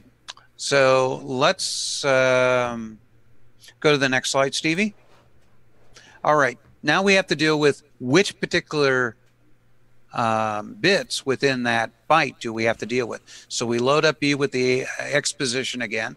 We and out the bits that we need to only worry about, which are the lower two bits that represent from zero to three for our four different positions and then I multiply it by two. And the reason why I multiply it by two is remember earlier we had that data table that had uh, masking information and color. hmm Well, that was two bits of info or two bytes of information per dot. So what I do is I multiply by two, load up the the location into the Y register, and that's what the load effective address mask color data comma PCR does. This allows us to figure out what that location is relative to the program counter and it puts it into the A register. And this is an instruction that um, um, Curtis is very familiar with because this allows you to do things that are PC relative or program, you know, program counter relative, which is key to OS 9. Yeah, this is position independent code, which means if the program moves, this offset of where it's pointing to moves with it. So if I loaded the program, like Steve has this program loading at 3F00, if you wanted to move it to 7F00 because you got a 32K Coco to try it on, then the program just automatically all works and shifts everything over. If you hard coded Y to point to a specific memory address Yeah. and then you had to move everything, it's now pointing to whatever random garbage was still in the old address. Mhm. And the new address, who knows? So it's it's just just a different way. I mean, I could have said load y pound sign uh, mask color data, and it would have gotten it. But this this way here, it takes about the same length of time, and it's uh, uh, programmer counter relative code, and that's what the PCR stands: programmer counter relative. And then we simply um, remember we had built up that B register to point to uh, an offset into that particular table. Well, Y contains the table, and the B comma Y, that load effect address B comma Y, adds the B to it. So we are now pointing at that location, and and like that. So that's basically what that's doing. Uh, we're getting very close to the end, folks. So hang in there. All right. Remember before I talked about the fact that we had a dot on the screen and well, if I didn't erase the dot, you would start having lines on the screen instead of dots because it would just keep drawing the dots up there. Well, this first two ins or first three instructions, uh, we load up A with what was there. This was what was at the old graphics location before we had wrote the dot. We load up the U register, Curtis. Don't get upset because I'm using the U register right here. No, no, go ahead. Yeah, it's U register is used for a lot of things in OS9. You don't want to destroy it, but anyways, uh, load up U with the uh, um, the address of where that uh, location was that we had the graphics data, and we simply store the old data onto that memory location with the store A at comma U. It basically erases the old dot from the screen. All right, now we load up the A register with what was there. And before we change it around, whatever, we store it at what was there. I mean, so we load up A with what's on the graphics screen that we want to change. And we save a copy of it so we can erase it later. Simple enough. You got that, Stevie? Yep, yep, yep, yep. Okay, next slide. Now, this here is how we mask. We simply do a and a with uh, the information that has to do with clearing out the bits that we're going to change. So there's zero. And then we or in the bits of what's going to be basically the color of that dot. And then we store it in the comma X, store A at comma X stores it on the screen. So we've only changed the dots that we wanted to that are, I mean, the bits that we want to that represent the dot and like that. And the last thing we're doing there is restoring X at dot memory that remembers where this particular byte was changed. So this routine not only puts the dot on the screen, but remembers what was there before so it can be removed later. So the anding is the masking and the oring is the painting in. Yes. You got it. Okay. All right, let's go to the next slide. Now, if we were just simply going to go through and do this without any sort of time delays or try and sync it to the screen or anything, the dot would be moving so fast you'd probably never see it. If you do in basic, you would see it, but in assembly, you won't really see it because it's going to spend a lot of time just zipping across the screen and be a blur. So what I've got here is a routine that waits roughly a 60th a second. I'm going to use the X register count. The reason why is this number is larger than 256, which is the maximum you can count when you're using an 8-bit register. So we have to use a 16-bit register, which is the X register. I'm using this particular case. And the label, so we can have something to go back to, is called delay. And you simply say load this load effect address one negative one comma x is decrementing x by one. It's removing one from x. And we're just waiting until it shows the zero flag is being set, which is an equal instruction. But when the zero flag is not set, it is not equal and loops back to delay and keeps looping forever. So it's almost like a for next loop. Yep. It's like a for next loop, and we're just waiting. We're waiting roughly about the time. The reason why I'm using the numbers that I'm using, for example, is this particular delay function of subtracting one from X and branching if we haven't reached zero takes roughly eight clock cycles. So that's the reason why we have the clocks 60 hertz divided by eight. That's roughly how many times we want to go through the loop to wait for that 60th of a second to go by. And believe it or not, we then branch up to the main loop and start the whole process over again of figuring out the new X position and moving the dot. And that's the program. and basically, end, start absolutely makes no sense unless you hear, think about it this way. The word end means this is the end of the program. Don't add anything after this. It, we're done. The word start after the word end says this is the entry point. This is where you go to the program to start. So that's why it doesn't, when you look at it, it doesn't make sense. But when you're an assembling going wizard, it makes perfect sense to you. Okay, and start. No more code and set the start location. Yep, simple as that. And believe it or not, that's my uh, effectively on the next slide is my last one. Lesson 12, we're going to look at uh, data objects. This is going to let us move more than one object on the screen. Uh, we're going to have three balls bouncing around. Neat. Yep. So That's just to reiterate, since I've been out for the last couple of weeks, you're using the setup that Paul Fiscarelli is using, which is uh, Yeah. Tools Exactly. and uh, Notepad++.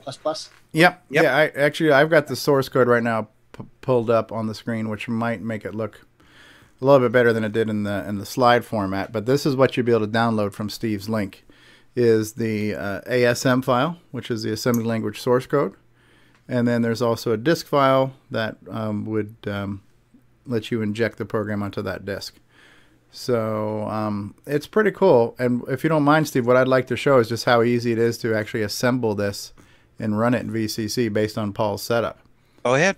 Yeah. So so right now this is the source code in Notepad++, and there's the language definition that color codes the uh, the commands and the the variables and the comments. Right. So all your different tab stops are um, are the different the different syntax components here have different colors to them. Right. So Mhm. visually it makes it a lot easier to see and yeah so i mean it's not a huge program but like you're saying it's so it's 180 some odd lines of code and um, pretty short program and that includes all the various comments and everything else so you would use notepad to to create your assembly code in this case here you're going to be able to download it so you don't have to type it from scratch this is not the rainbow magazine uh, so, so then what you would do is um, uh, and this is all again. This is based off of Paul Fiscarelli's series, uh, Long Branch Never. But you have your your one directory that's your 6809 assembly code, and you have a, a program called assembbat, right? So you type in assem. That's the assembler batch file. In this case here, we're going to type in .move, which is the assem file. And then here we could pass it off to VCC, or I could pass it off to MAME for that matter too. So in this case here, I'll pass it off to MAME. So now the assembler's running. It's now injecting everything. Unknown support type MAME. Oh, I forgot about that. It's not MAME. It'd be like Coco 2. You don't type in MAME. Whatever. I'm getting all these freaking errors popping up here.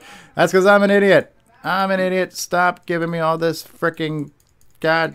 You got to quit out of MAME. There we go. It, it finally went away. All right. So what is it? It's not MAME, but it'd be like Coco 2B, right? Or Coco 2. Right? Or I should have just typed in VCC. Um, and here it is. So I'm going to move the screen over.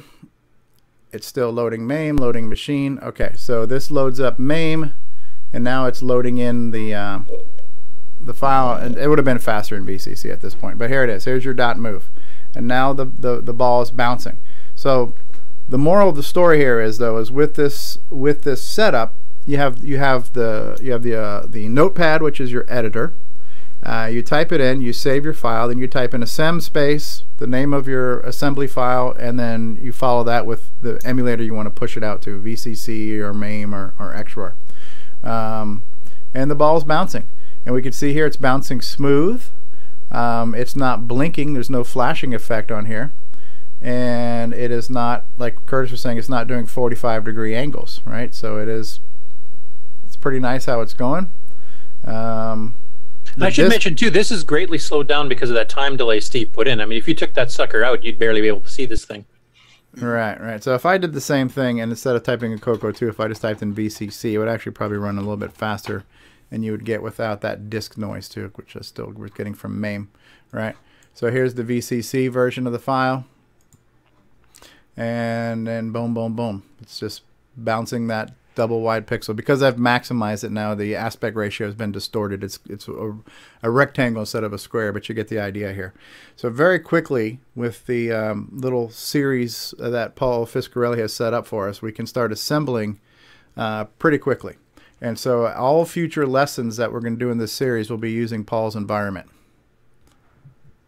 Um, so good stuff. Very good stuff. And one thing I want to mention that there, there's a lot to take in in here because we're this is the first time we've been hitting like programming the SAM and the VDG and stuff, and, and maybe it's not totally understandable to people yet. I mean, basically, this program is set up for P mode four, so we'll just leave it at that for now and, and get into the details later. But I, I think uh, one nice thing for people that are just getting started in this, like I said, this might be a lot to take in in one shot, but just fiddle with some of the variables that Steve did the starting labels on. Change the angle, t- change the two deltas, change the start position so when you fire up the program, the dot starts a different spot change the time delay so you can make it run slower or faster. You can kind of figure out how the program works doing those things and seeing what the effects are. Mm-hmm. Exactly. And you know, like if I wanted to really set it up a little nicer, the the mount that I was uh, setting up for the deltas, the speed for the X and Y, I should have defined those at the beginning. That way, you would just change variables at the beginning opposed to somewhere in the middle of the code if you want to change how fast the ball moved. That sounds like a, an objective for the user to try. Yep. Set up a variable called something like uh, init x speed or whatever, and you can put that in. But you know, it's uh, basically it's just something to play around with. Now, when we get into later the series, I'm going to be talking more about the stuff that I've added to the program that's new, opposed to going through the entire program every time. So you will need to kind of realize these are going to build upon the foundation from the previous episodes.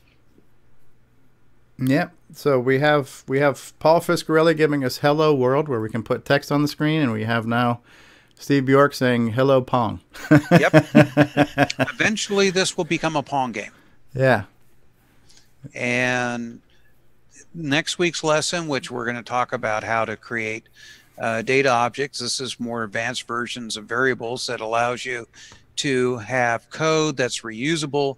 Uh, ha- you know, like if you want to have, let's say, um, oh, I don't know, uh, you want to have three balls bouncing on the screen once, you only have to have code for one ball.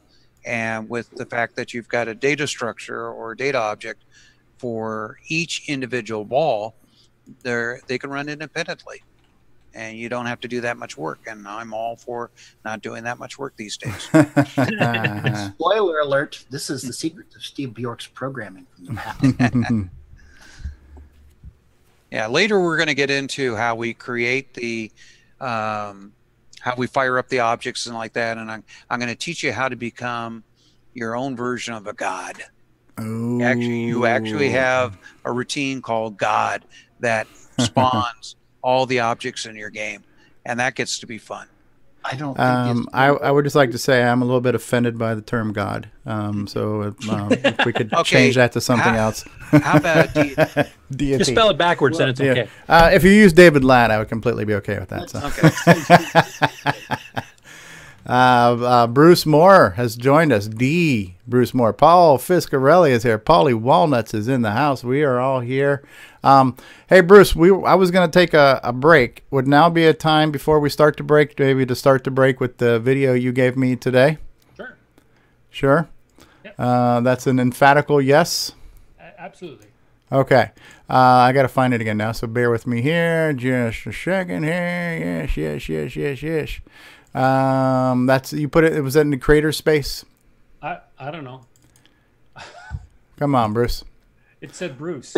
Yeah. So it's Coco Forever. Season four is complete, right? You Is expect that, us to remember this stuff? is that the file, Bruce? Sounds right.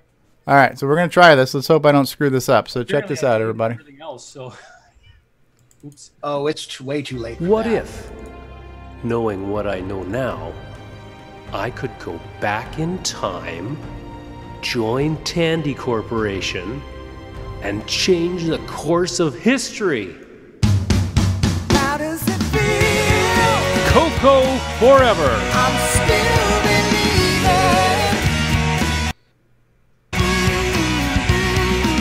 I, I haven't seen any of the other retro or even modern communities try to pull off something like this. This is unique.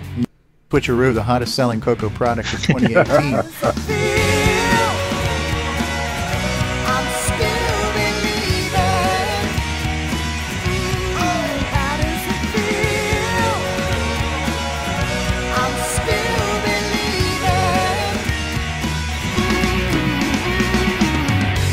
cocoforever.gracenote.ca. Ooh. So you're saying the whole thing's ready for me to order finally? Yes, episode Mm. nine is out, and for those of you who are binge uh, binge watchers or binge consumers, um, I've packaged it all up so you can get the whole thing all at once. Ah, I think I'll do that. It's uh, about 400 and I think it's 460 megs altogether for the whole thing. That's episodes zero, 10 episodes numbered zero through nine. The story is Excellent. Got a question for you. In the video you just showed, there was the um, subway shuttle system. Was that the one at Tandy? Yeah, that's the actual Tandy subway system. Yeah. You you found video of it. That's great. I found video and I found I found the guy who did it and he gave me permission to use it. So yeah, it's the actual stuff. Wow. And it's integrated into the storyline too. So it's it's it's an integral part of the story. Wow, wow. Um, well, we ha- we Bruce, we have we have at least one viewer who's with us today who's never seen an episode of Coco Talk before. So why don't you take a minute to explain the whole idea of what is Coco Forever for somebody who you know maybe is watching us for the first time, or just to remind people who've been lazy like Curtis. Well, the uh, the concept, I, I guess, is it's okay. So this is a fictional thing. This is a story. It's a what if story. I'd been watching Back to the Future and introduced it to my kids, and then I got thinking Back to the Future for the Coco. What if you could go back there and change some of the the missteps that Tandy had made, and then uh, and you, know, you come back to the the present, and and Tandy would be you know the company, right? of course that never goes the way it's supposed to and uh, and so i've you know i think i've got a, a, a entertaining story there i've had a lot of members of the community uh, take part um, either as alternate versions of themselves or or just uh, yeah essentially alternate versions of themselves with with odd names and as you know stevie you were in the opening there and uh, i think there's maybe um, there's at least a dozen i think there's a dozen different voice actors so it's it's um, it's nine, it's ten episodes, zero through nine. I think it tells a good story. It's it's a good lot of fun. And if you were disappointed that Ready Player One did not have the Coco in it, this is a you know story where it's all Coco all the way. right. And we use the term voice actors loosely. So Well, hey, when you're acting as yourself, it's actually pretty neat.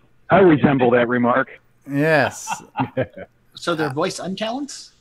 Uh, I, I, I frankly, I love Jason's rendition of the security guard. It's just, it's just, it's actually perfect for a security guard. I think. Yeah.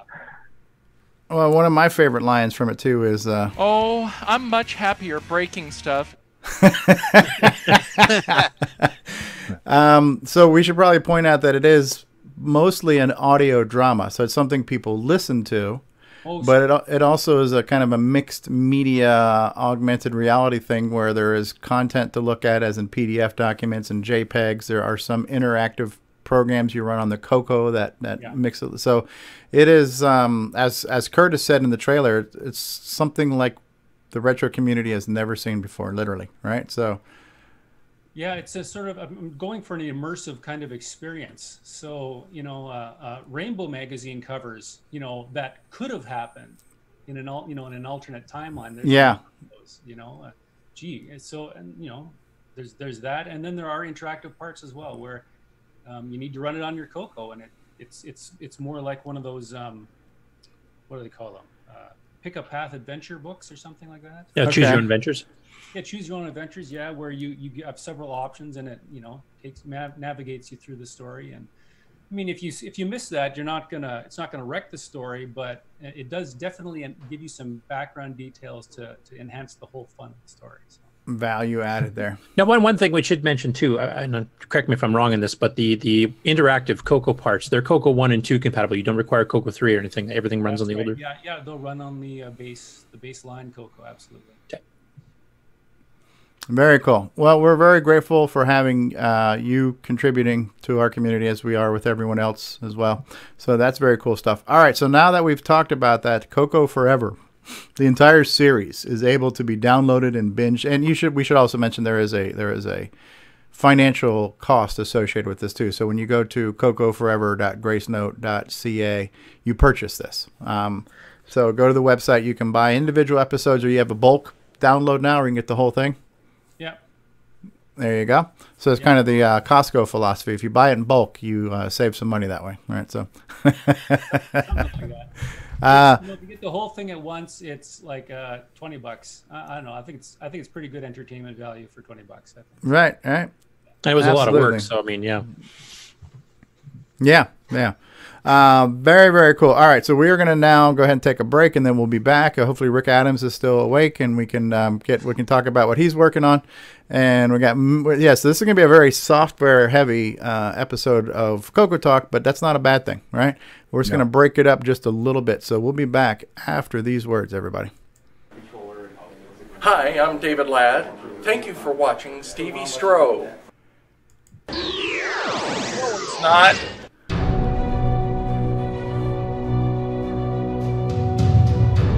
In a world where RGB produces black and white video, one cable can make a difference.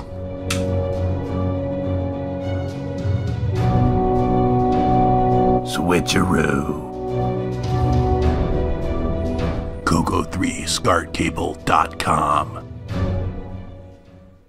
What's going on, guys? Stevie Strow here, and I want to say thank you so much for being part of this adventure with us. It's been Thank such a you. great experience you're in doing and Talk every week, and the support we get is just amazing. And so the fact that you watch and listen is all the reward that we need. However, if you would like to become a patron of the show and offer some financial assistance towards the production and hosting costs of the show, we do have a Patreon site available for that, and you can reach that by going to our website at cocotalk.live and clicking on the Patreon link. But just do us a favor and watch and listen to the show.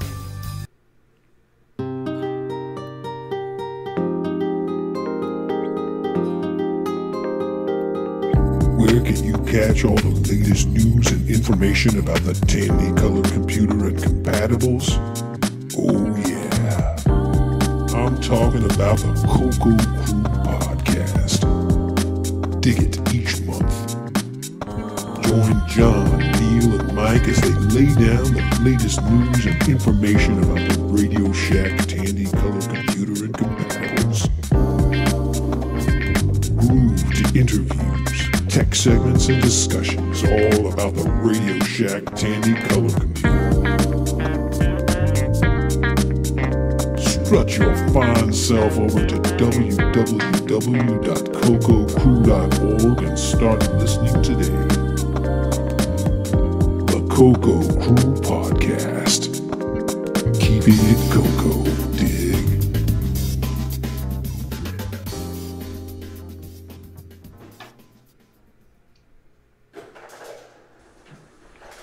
don't need that report tomorrow. Great, JT.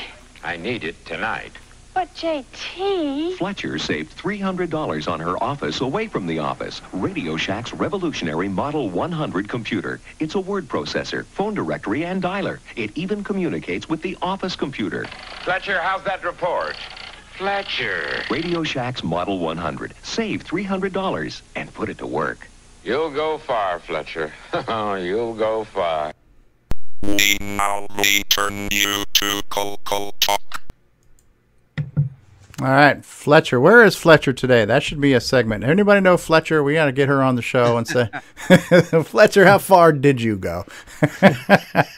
Uh, Stevie, before we go on too far, we did have at least one comment in chat, and it had to do with the fact that uh, the direct page variables kept the program from being um, relative. And no, that's not necessarily true, especially in the case of OS9. Uh, you mean uh, as far as keeping it position in, independent? Exactly. Okay.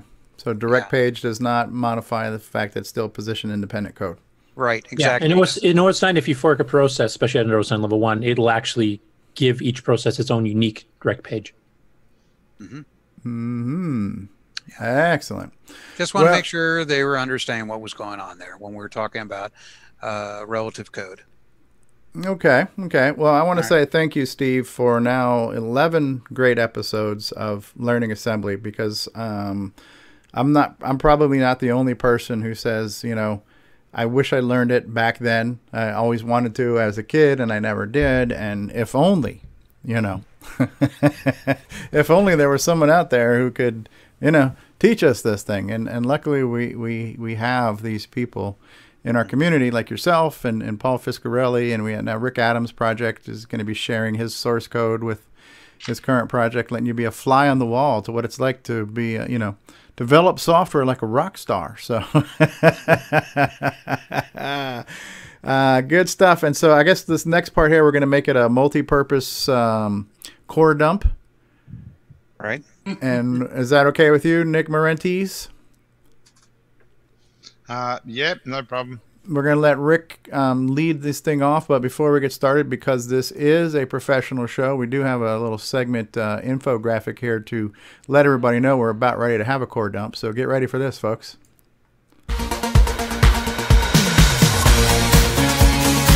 Get ready for Core Dump. Discussions, solutions, and brainstorming, hosted by Nick Marentes with special guests this week, Rick Adams.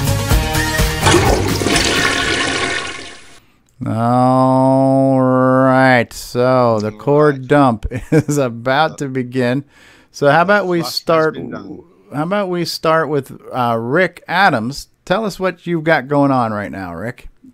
Well, it's uh, it's really kind of timely that we were looking at a bouncing dot earlier uh, because I have an assembler program that does dots moving around uh, that I've been working on. Uh, basically, this is the, the very very bare beginnings of what I'm hoping will be Temple of Rom version two, and I'm starting it very slowly and uh, uh, very methodically, and I've got no uh, timetable. I can do it as slow as I want. And just for fun, uh, I'm opening up the process so that anybody can watch me as I develop this. So all my source is on uh, GitHub, and so you can go out there and get it, and you can you know get in on the ground floor, and it it's barely doing anything right now. So it's moving dots around, but it's not. Uh, it doesn't look like anything like uh, what Steve had. So let me turn this around and show you. Here's what my program is doing right now. So, Oh, dots are moving from left to right across the screen. right. And But you're also masking out the background or foreground, depending on what we're looking at here. Yep. So, uh, what this is is I have just now the the latest thing I've added to the program is that uh, uh, it does double buffering. So there Ah. are two, two screens in memory at uh, at once, and it's drawing on one screen while it's displaying the other screen, and then uh, right at the vertical trace interval, uh, which is when it's just starting to paint the screen, it flips, and you know the the screen that was just painted gets displayed, and then I clear and paint on the other screen. So they just sort of flip back and forth. Um, That smooth animation. Super oh, it's smooth. Very, it's very smooth. It's like but butter. It's very, but it's yes, but it's very slow. And so what this shows me is that uh, the design of this program is naive. Um, uh, because I assumed that uh, it's like, uh, well, you know, I've got a 6309. I'm doing it in 6309 native mode, so I'm gonna gonna get about a 10% speed boost. Hot dog! I am loaded for bear. Uh, but you know, the the Coco giveth and the, the Coco taketh away. I've got a uh, uh, a larger, res- uh, a more, uh, you know, cool resolution than I had before. Yeah. So it's more memory. And as a matter of fact, the, the last uh, problem that I had to solve was the fact that you can't fit two screens in memory because it's just too big. There's not enough room in memory at any one time in your 64K map for, uh, you know, two screens and your program. So I had to, you know, uh, use the uh, memory management unit, the MMU, Mhm. and uh, you know, and, and and use that to uh, to map in, you know, one screen and then the other. Um, so I'm not real good at the MMU. You know, I, I, figured out just enough to get it to work for like Shanghai, uh, but I didn't really understand how it worked. And now I understand a lot better. But uh, so at this point, I need to restructure this program. Uh, and I mean, I could think about uh, a less high resolution, which would be, uh, you know, less screen size and Mhm. faster to process. Uh, I've got to figure out, you know, what goes in the uh, uh, the interrupt routine and uh, all kinds of things like that.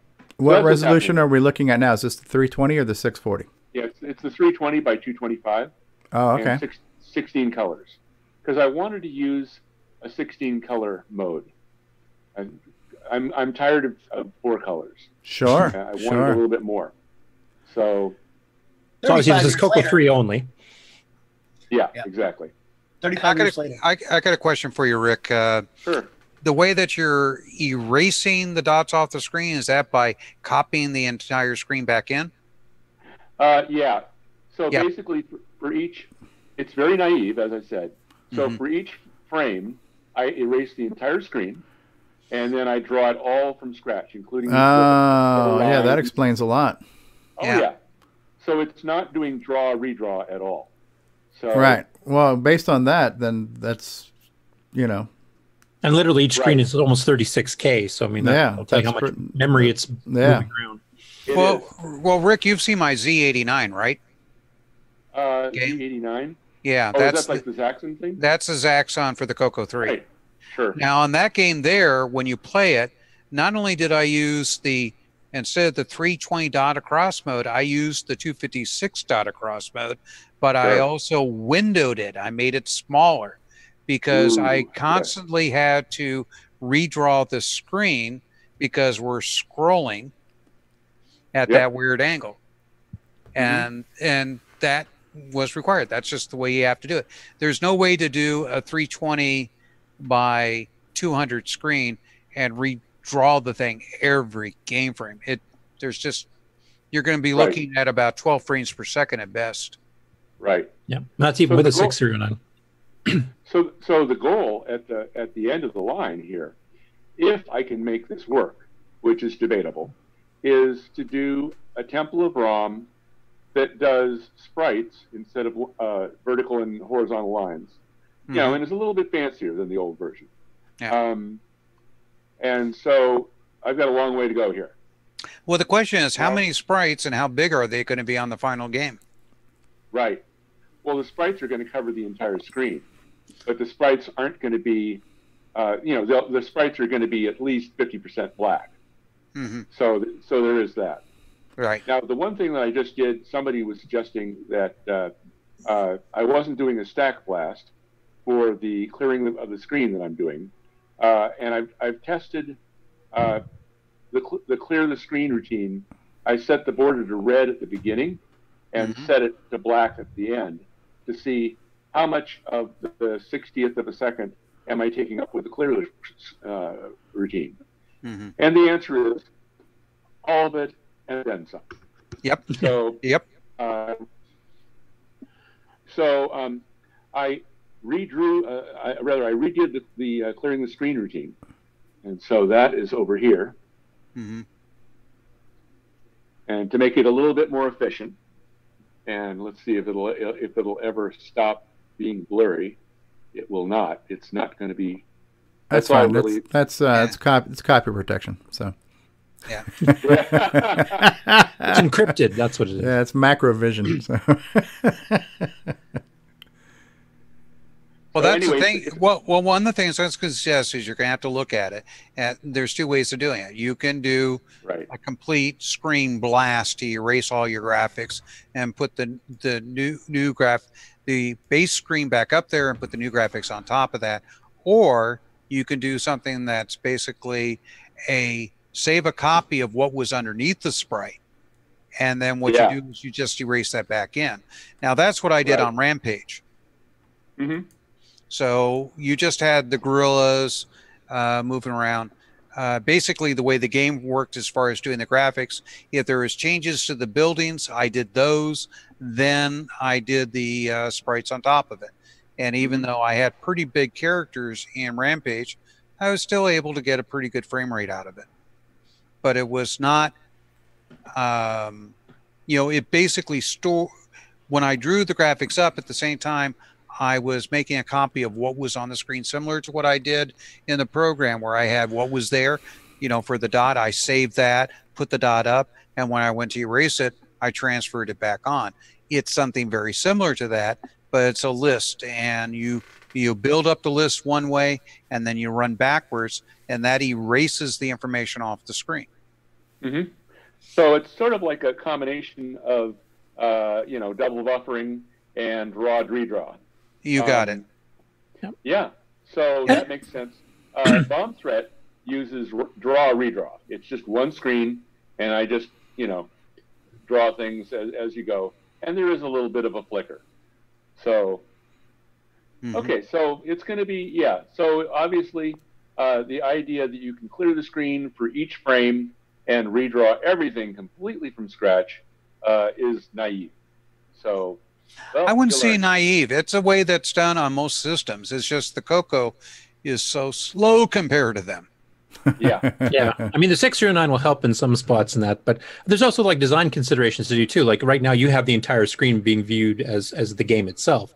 On the mm-hmm. actual final product, you'll probably have a section at the bottom for score, and number of men left, and everything else that you don't have to redraw Right. every single frame. So you'll save some time there because you'll only be updating that, you know, as the score changes or the number of men changes. So Well, that's the thing. It, time with that. Z89 did exactly that. It had your score, your fuel, and all these other gauges and information up there. So it made the window even smaller that you had to refresh every time.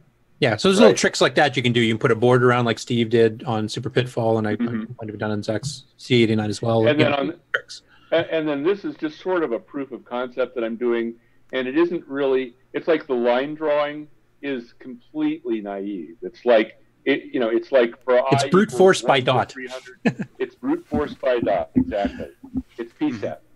So, uh, and if you were doing that for real, you would have uh, a vertical line routine and a horizontal line routine that would be optimized for drawing that kind of a line. yeah, we did that in NitrOS be- 9, and holy cow, did that make a big speed difference. Like Yeah. multiples of speed, not just like Which know, is- 1.5. which is what the original Temple of ROM did. So that's why everything is vertical and horizontal lines. You know, I could have, I knew how to do diagonal lines, but it it took too much time, so I couldn't do it. So are you planning on you planning on the game still being kind of vector art for the temple itself, or are you going to be a little bit more uh, embellished than just the outline of Well, the temple? I was thinking that it was going to be completely, you know, filled in sprites, and now it looks like, well, that's probably not going to be possible. Well, you, when you say when I hear the word sprite, I'm thinking of the foreground character. But you're talking about for the background, would that be- be more like Oh, tiles, yeah. like tile based? Or yes. Okay, yeah. that's the buzzword I'm looking yeah. for, yeah. Um, so tile based, and you, you're going to do hardware scrolling too? Uh, I'm gonna I'm gonna try. I think uh, it seems like if you're going to be scrolling around, you know, in, in all dimensions like Temple of ROM did, which was kind of its tour de force. Mhm. Uh, you know, if you could do that with hardware scrolling, uh, that would be really nice. Now I don't really know enough about that in, yet to be able to do that, so it'll be interesting to uh, to, to learn that. Yeah, yeah, that's something I'd like to tap into one day too. I'm I'm way way not ready for that part yet, but no, that's cool. Um, How are you um, copying the screens? Uh, I'm just completely, I'm not copying at all. Uh, I'm just completely clearing the entire screen and redrawing it from scratch every frame. Which, How are you clearing you the know, screen? Um, with a stack blast. Uh, or TFM using- if you're a six or a nine, if I remember correctly. I did try that. I did that and that worked. Uh, but now I'm doing a stack blast. I, I've heard that it is faster than TFM. Yeah, if you're just doing a clear, a stack blast is even on the six zero nine is a little bit faster than than than using a TFM. But if you're copying screen data, then a TFM is faster than any stack blast can be. Right. Okay, that makes sense. And one other trick I wanted to mention that like King's Quest 3 and some of the Sierra games use is that it's actually drawing a 320 mode screen, but it's treating it like a 160, exactly like Steve did with his his bouncing ball, where he's treating it as a four color screen when it's really a two color mode. Because then you can take all the masking of having to do the foreground and merging pixels with the background stuff, and you can just trash all that because you're everything's a single byte. Like we were mentioning before, VGA, like 256 colors, what's one byte per pixel. Well, you're just Uh-huh. doing two pixels at a time. You treat them as a, a double pixel, and then you don't have to worry about all the masking stuff. You're just drawing raw bytes at a time. Right.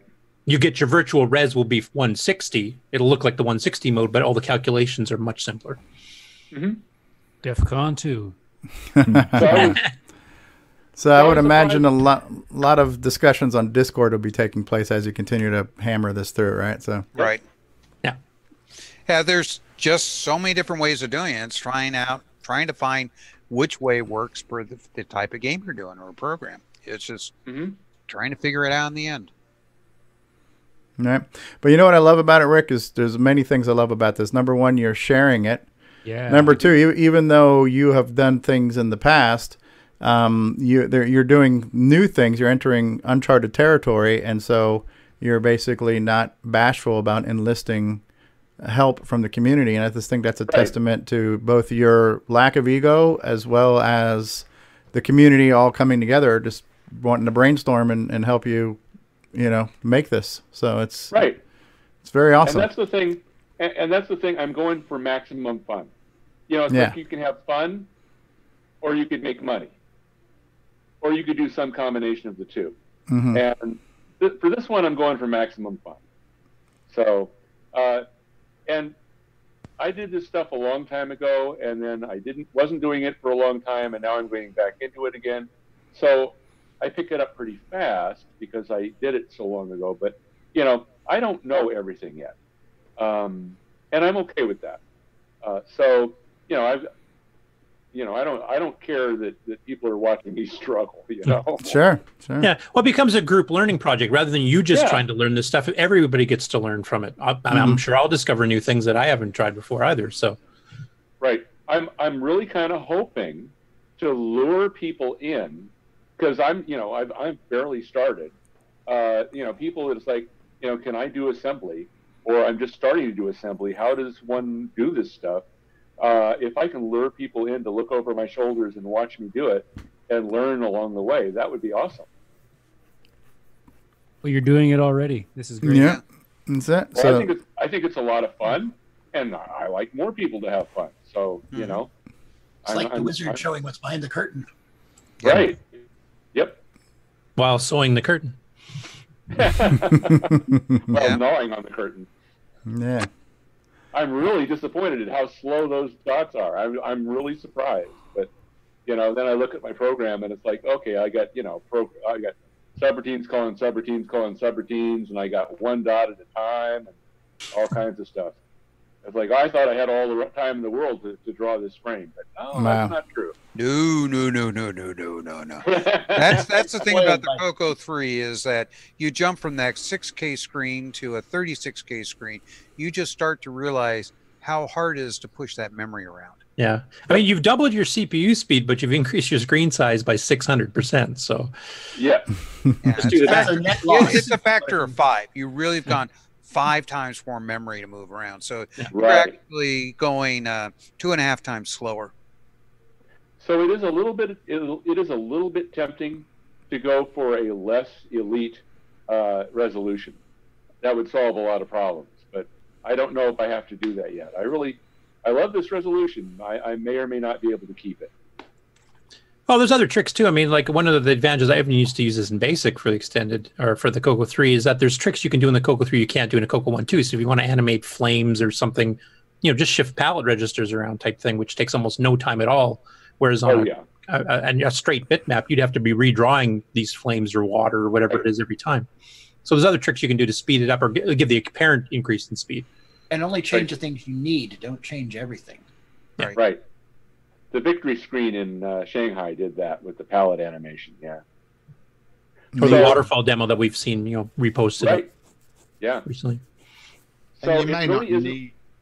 Sorry. Go ahead, Nick. really- you may really not worth my- need. to- You may not need to uh, copy and everything of the whole screen. Right. Uh, like Exactly. uh, Curtis said earlier, I mean, you devote part of the screen to be your static areas, like the score display. That that'll shrink the size of the screen, so then you straight away got less memory to, to play with. So there's a speed up without reducing the resolution of the overall game.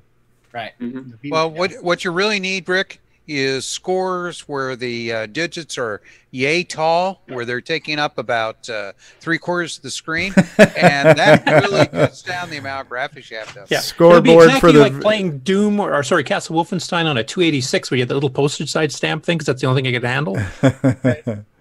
Yeah. So at this point, for me to optimize this thing that I, this proof of concept that I have to make these little dots move faster would, inqu- uh, you know, would involve uh, a lot of work optimizing code that I'm going to throw away down down the line. So at this point, I need to go for uh, drawing sprites and drawing them as fast as I can, and starting to put sprites on the screen. And then after that, I can work on uh, uh, scrolling them in all directions. Yeah. So, I mean, I you've, mean, you've seen could- Thexter, which I, I mean, even it runs under OS 9 even faster than the original cartridge version did, and that's scrolling almost the entire screen. But it's using little, little speed up tricks like we've been discussing. So, and it doesn't run at too bad of a frame rate. Hmm. Yeah, that'd be kind of cool. Even if, if pulling off a Thexter look for Temple of Rom would be actually very cool. Uh-huh. So I have a question, which is, um, so obviously it, it looks like the uh, clear, uh, clearing the entire screen takes more than a sixtieth of a second. So is that always going to be true? It's just always going to take maybe about you know three you know two, three uh, screen cycles. Well, you're killing 36,000 bytes. If you're using a TFM, that's three cycles per byte.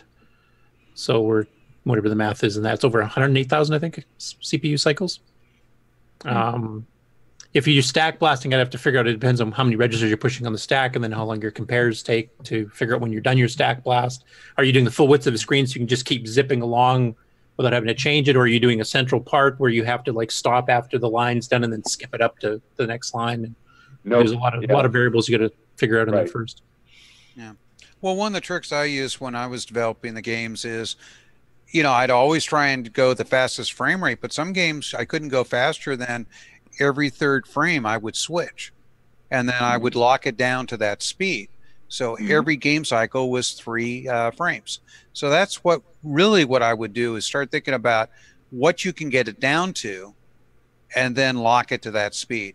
That way, you're not going to have the thing speeding up and slowing down, which is Yes. the most annoying thing to a game player. Yeah. Correct. You'll make Stevie never get past level zero. You'll make him DEF CON quick, but uh, I'm good with title screens and game over screens. and, and to be honest, I mean, for the Coco, I don't know if 60 hertz should be the holy grail anyway. I mean, we were dealing with NTSC, which is only doing every odd line every second refresh. You're really doing only 30 frames per second to begin with anyway.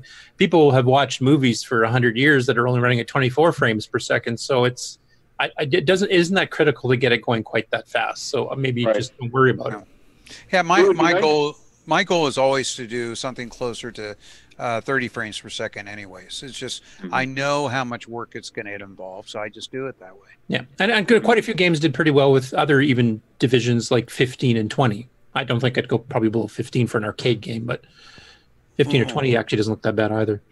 It'd just be nice to know the scale that I'm dealing with. It's like clearing the screen is going to take n screen cycles. It's like, what is the value of n? I don't know. So Well, the one one, one example you're one. using 320 by 225 using the 639 TFM command, it's 108,000 cycles. Stack blast would be a little bit faster depending how many registers you're pushing at once. hmm And then you take, you know, there's a million seven hundred eighty thousand cycles in a Coco 3 running at full double speed, divided by that amount. That tells you how many frames you take or you can generate per second just clearing the screen, not drawing anything else on top of it, not doing sound, not Right. doing gameplay. Yeah. But yeah. I my my brain can't do that calculation right now.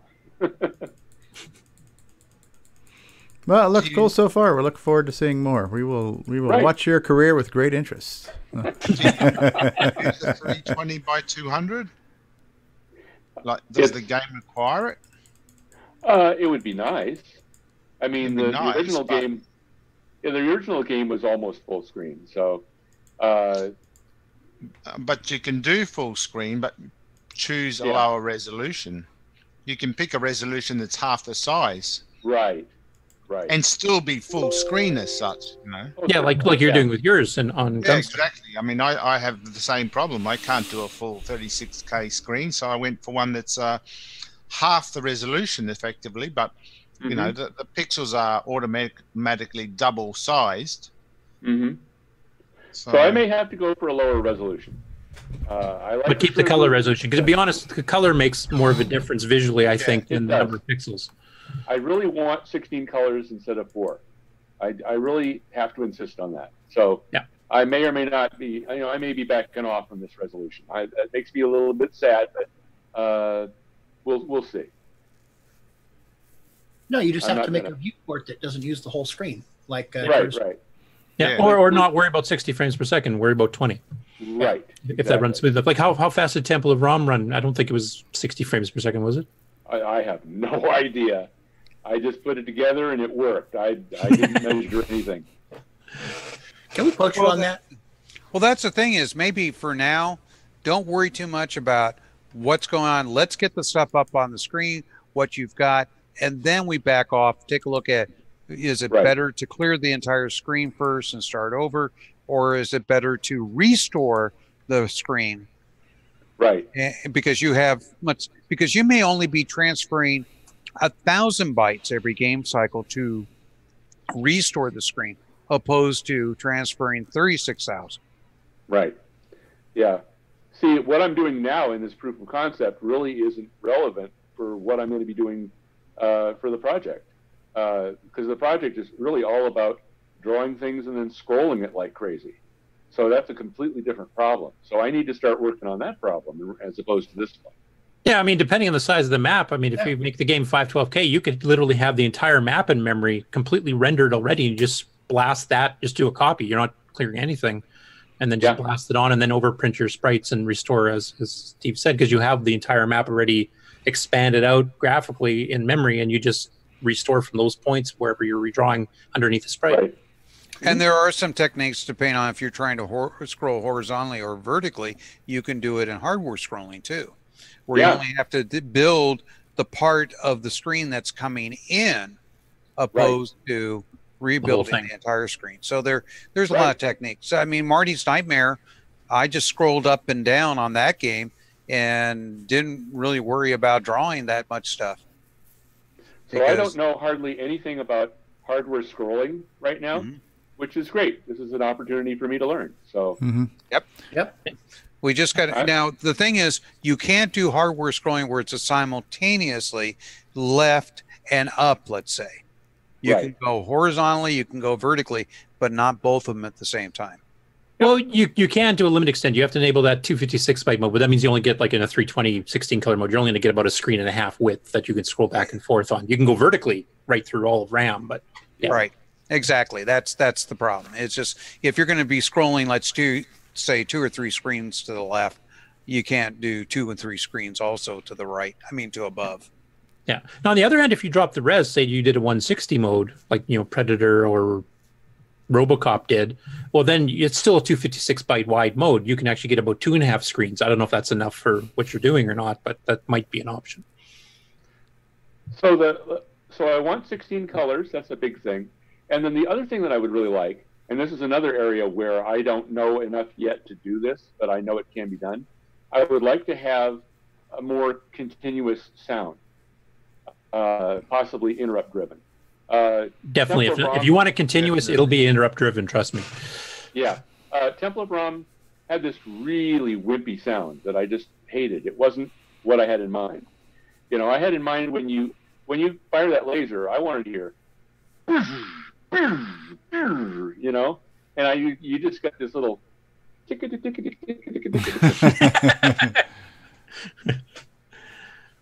when I was developing it, my kids were playing it, and uh, in this room in my house, and uh, I was coming up to the house, and I looked through the window, and I could see them playing it, and they're firing the laser, uh, and it just, I just had this idea in my in my head that it's like, yeah, yeah, that looks like, pew, pew, pew, that looks great, and then I walked in the house, and then I heard the actual sound. It was like.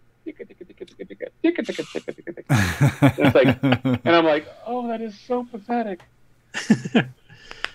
I, I, both Nick and Steve can help you with that because they've done a lot of back driven or uh, background IRQ driven uh, sound routines. And, and Well, not, not only that, there's all these new options of sound Yeah. chips now for the Coco. I mean, we can have some stuff that's killer ass. Can you Sam Jonathan too. He's got Yep. uh, he's got some code ready to go. So Yeah. So yeah, so this is all. It's it's some areas where that's new to me, and I get to learn it, and possibly I can drag some people along with me, and they can learn learn it too, and I don't have to pretend to know everything. Uh, so it's all good. Yep. There you go. I really like the fact it's a it's a group project, a group learning project where everybody gets to learn along with you. Now I've got it on my my GitHub, but the GitHub has like a long unpronounceable name, and I need to change that to something simple like Rick Adams.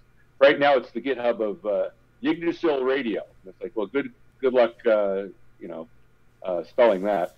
That's the name of my online radio station. So we'll we'll fix that to something simpler.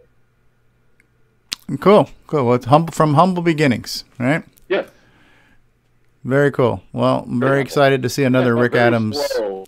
Yeah. I'm very excited to see another Rick Adams project out there taking shape.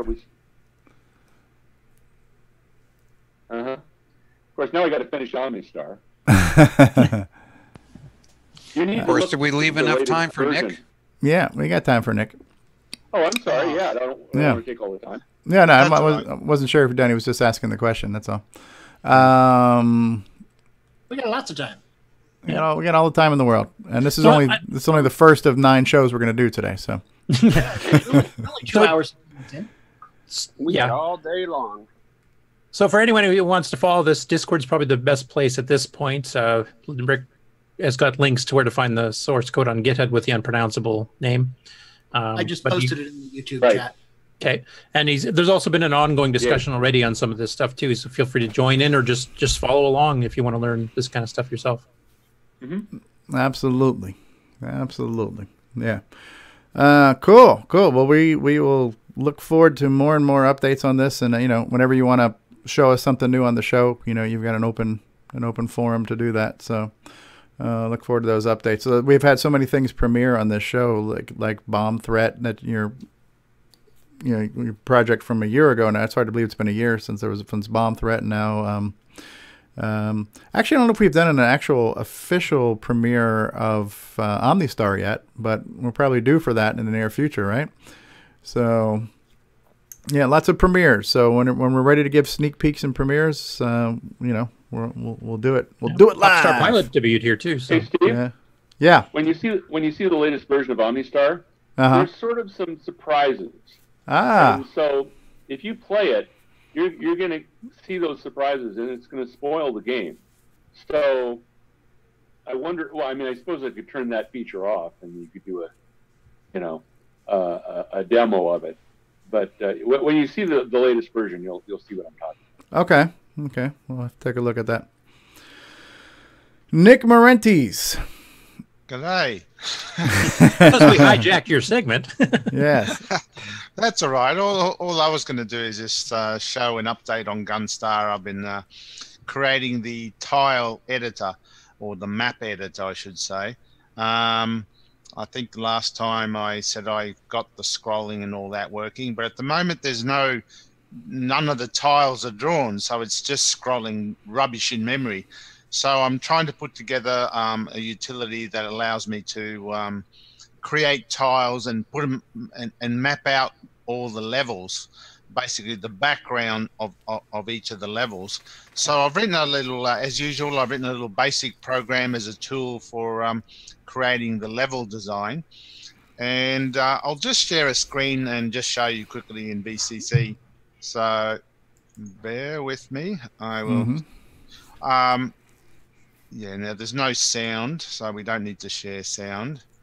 So there we are. So that screen's coming through. Yes, it it's is. a basic program. Now it's it's all in basic, so it's a little bit slow still. Um, I'll just run it, and it's asking me to reload the tile set at the moment. I haven't actually drawn the tile set, so it's just going to work on rubbish that's in memory. Um, and uh, I'll just go with the defaults. But that's it there.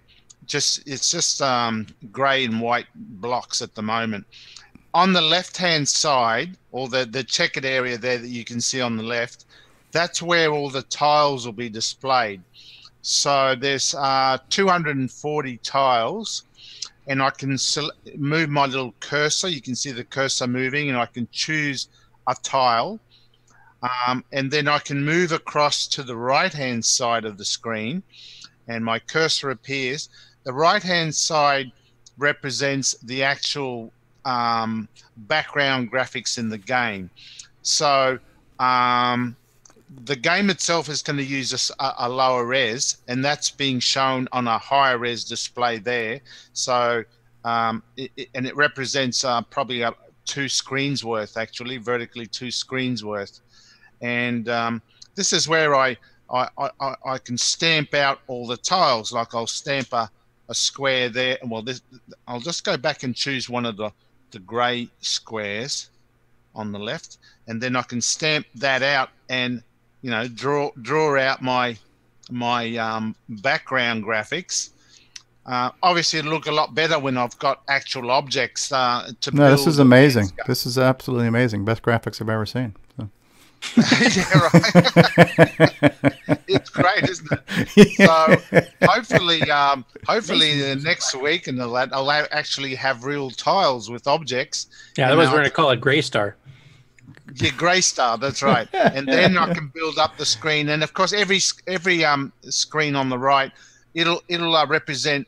Uh, I can scroll. I'll be able to scroll that up and see an, a large vertical area of the background, which will in the game all scroll down, and that's where you fly your spaceship over and you know. All right. So, what are you calling a tile? Is a tile an entire screen, or is a tile one a piece of tile the is screen? That little square you're seeing, the little square that my that flashing cursor is showing, that's a tile, one tile.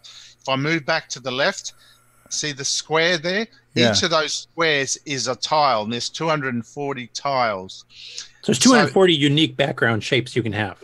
Background shapes. That's right. And all I'm doing is going to the right hand side and, and laying them out to build the background graphics. For example, if I had, uh, say, a grass area, I would have on the left, I would have a tile that, that has, say, the grass, say, green. Uh, and then I'd move over to the right and I would just stamp out green. So, so um, I'll just pick. I haven't got many tiles, and that that's what makes it hard to show. But you know, if this was a green, I, I wanted grass, for example, I would just go ahead and draw the grass.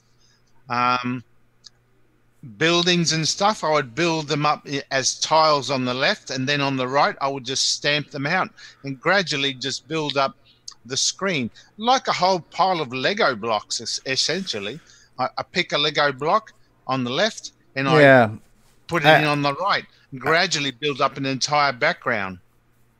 I think I'm just having a hard time connecting the dots on what's on the left and what's on the right right now, as far as Okay, Left left is a list uh, is a, a showing all the 240 unique background pieces Square. that you, you can do. um, the right you put them all together, so you can have like five or six grass in a row going across, for example, to make a so strip. is is one tile. What is it? What is the pixel dimensions of one tile? uh, eight by eight. Do you have a file that you can load in that actually has some graphics? I no, that would- no, that's that's what I haven't done yet. Yeah. So you're Oh, so okay. so you've just created the editor right now. We don't have any images to see in the yeah. editor. And once I've got uh, the, the editor, then I can use the graphics I can uh, that I'll draw and up. then what are we looking at the window on the right? How many tiles makes up that window?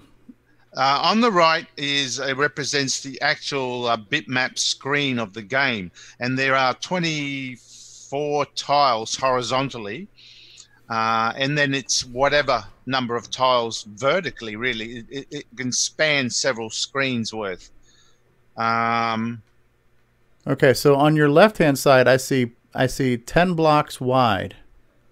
uh, yeah, but the, the, the, that's uh, yeah, but each tile is what you're interested in. Each square that I'm highlighting is a tile.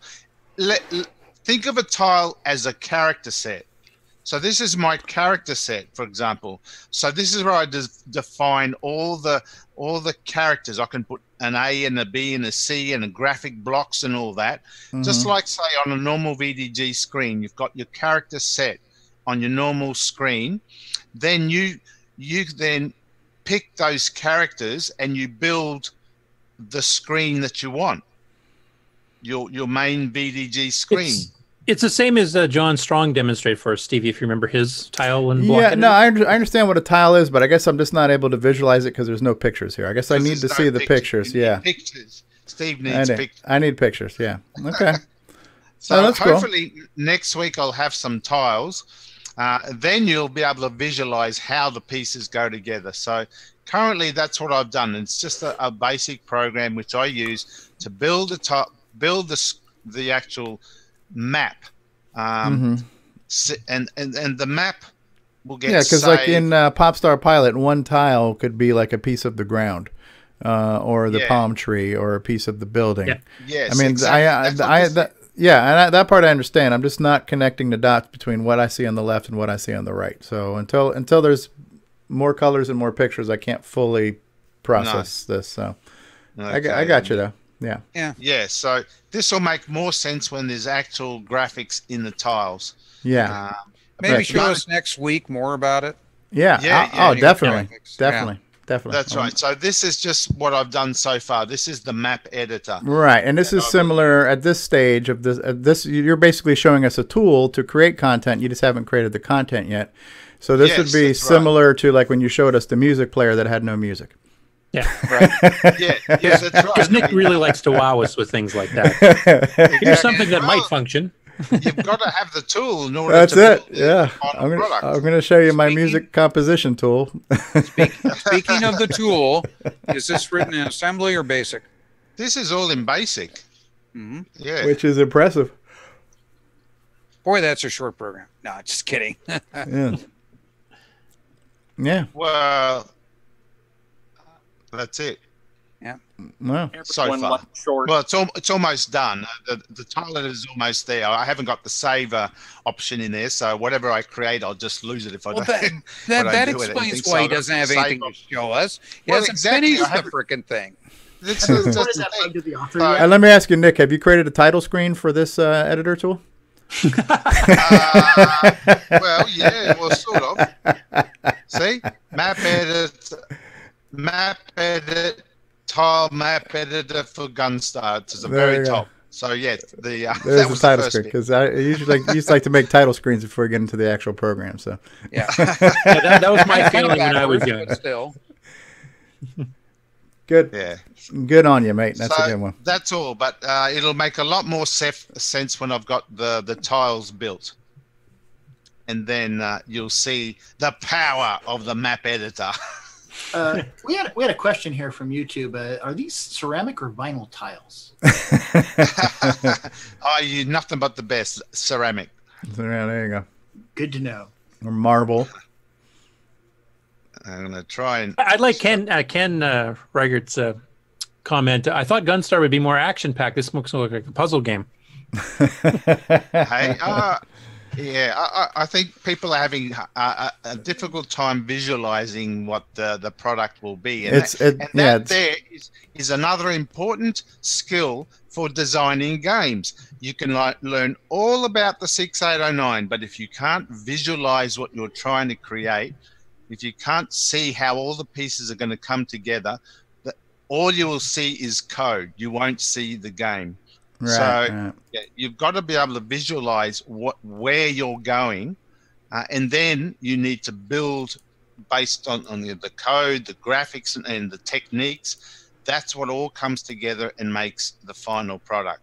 So yeah, this isn't so exciting, but it is all part of the building up to the game. And I think the moral of the story is it's hard to see what's not there. Yeah. Yeah. Yeah. yeah. So I do have a question. I do have a question for you, Nick, because you, you did a tile editor for Popstar too, did you not? Yeah, I did. Yeah. You couldn't repurpose that that one. Well, the thing is, Popstar was a horizontal scrolling game, so the orientation is different. The, I think the uh, tile sizes were different. Oh, okay. so Um, there's a few few differences. yeah, there. there's a few differences, and uh, w- w- this one's been tailored to work with Gunstar, which is a vertical shoot 'em up.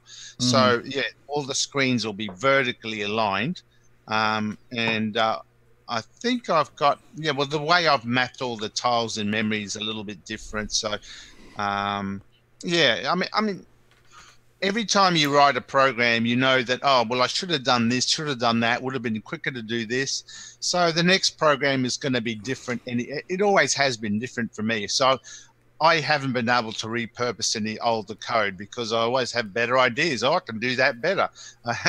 so it's always different. Mm, There you go. Yeah. Very cool.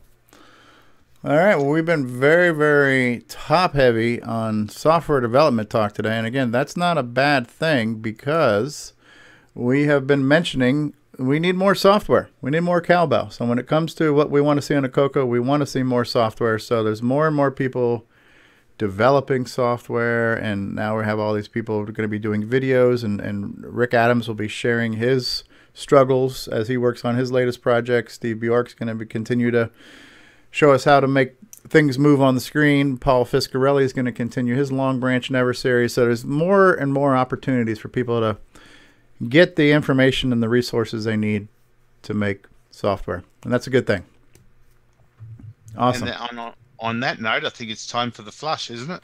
Uh, and this completes another core dump. Uh, Ron Delvaux, how are things looking up there in the ISS? Uh, everything's just fluid. Fluid? Yeah. Are we Fluid, coming through? Are we coming through the Roku satellite feed too?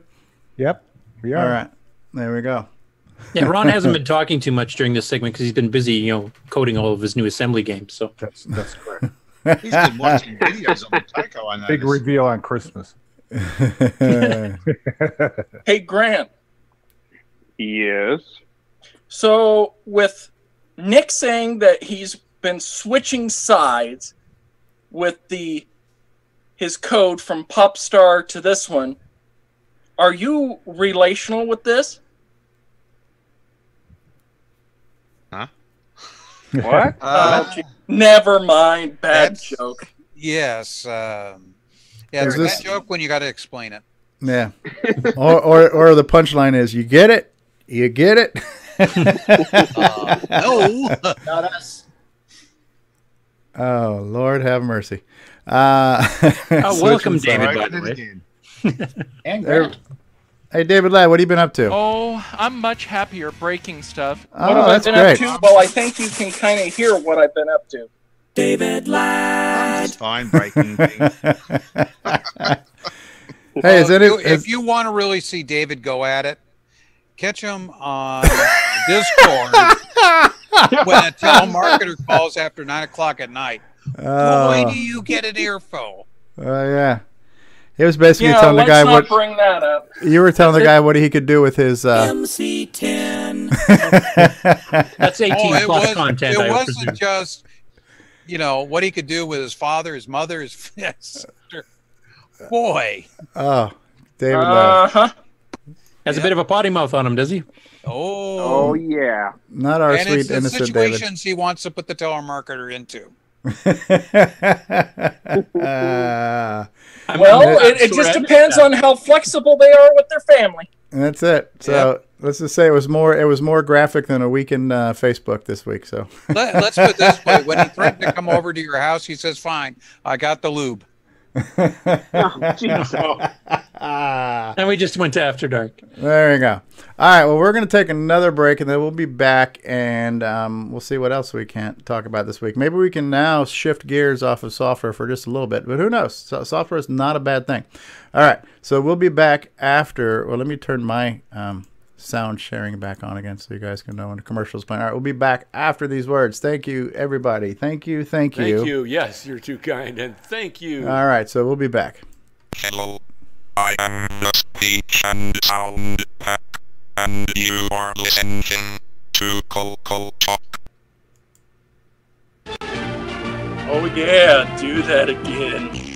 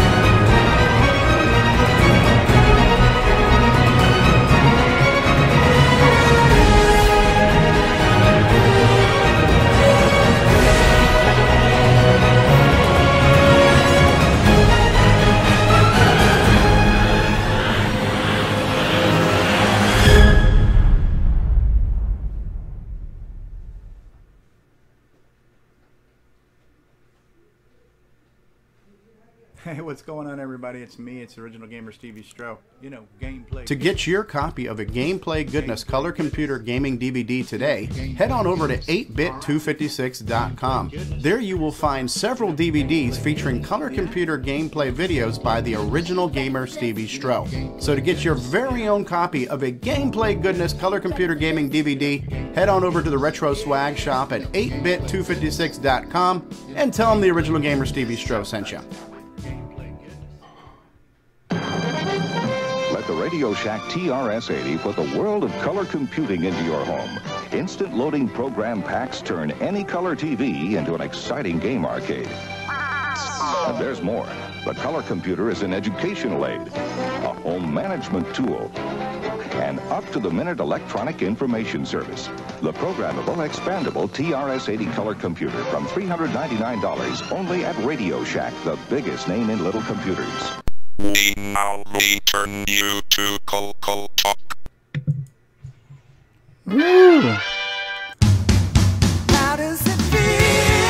It's having a hard time switching over. There we go. we just switched over. A little delay there. Push the button, Uh, Francis. Push the button, Frank. Uh, yes, yes, yes, yes. Well, I'm not know. I'm sure if Davey Mitchell's still out there in, in the audience or not, but he did post something. Uh, we do have a little section in, in Discord for Coco Talk where if you want to post some suggestions on things to talk about in the show. So we try to make it easy for people to give us links and things that we might, you know, consider putting on a future episode. So one of the things that Davey gave us was uh, a link to a YouTube video that he posted on a game for the dragon. And by the way, Davey's Retro Corner is his um, is his YouTube channel. Uh, I should post a link to this, which I will when I'm done. I'll post a link to this in the chat. But uh, so this is a game for the dragon that's called Miser's Dream by Microvision for the Dragon 32, and it's kind of an interesting game idea. And, and like like a lot of games on the Dragon, uh, because they did not have artifacting, um, they did not support those extra colors like we have. Um, most of the Dragon games use the green background, and um, but this is kind of an interesting game. It's kind of a puzzle game because the, the money is dropping coins, and you have to manipulate seesaws to get the coins to go into different directions and catch them in your piggy bank.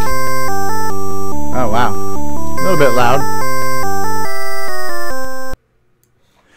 But if you kind of look at this, it's kind of neat. So it looks like you move this little doohickey around here, and this is where you change the directions of the seesaws, um, and kind of tilt them which direction you want them to go. And then you also use that little doohickey to somehow catch the coins or you know do whatever you got to do but it's an interesting game that's dealing with kind of there's a puzzle element there's some kind of motion dynamics to it physics if you will uh, so a couple of interesting things going on here i had not seen this game before um, but it's interesting and it just shows you gives you some ideas on, on different types of games you can do for the coco. I don't know how many frames per second this one's doing. I would imagine it's not pushing 60 frames per second but it, you know in a puzzle game you don't need to be super fast. Um, but it's just kind of neat and it just goes through a lot of levels. But you can see here he's doing what he's got to do to get those coins to make their way into the piggy bank. It looks like on the bottom of the screen is a meter, and you got to get that meter to come all the way to the other side. I'm assuming to end the level.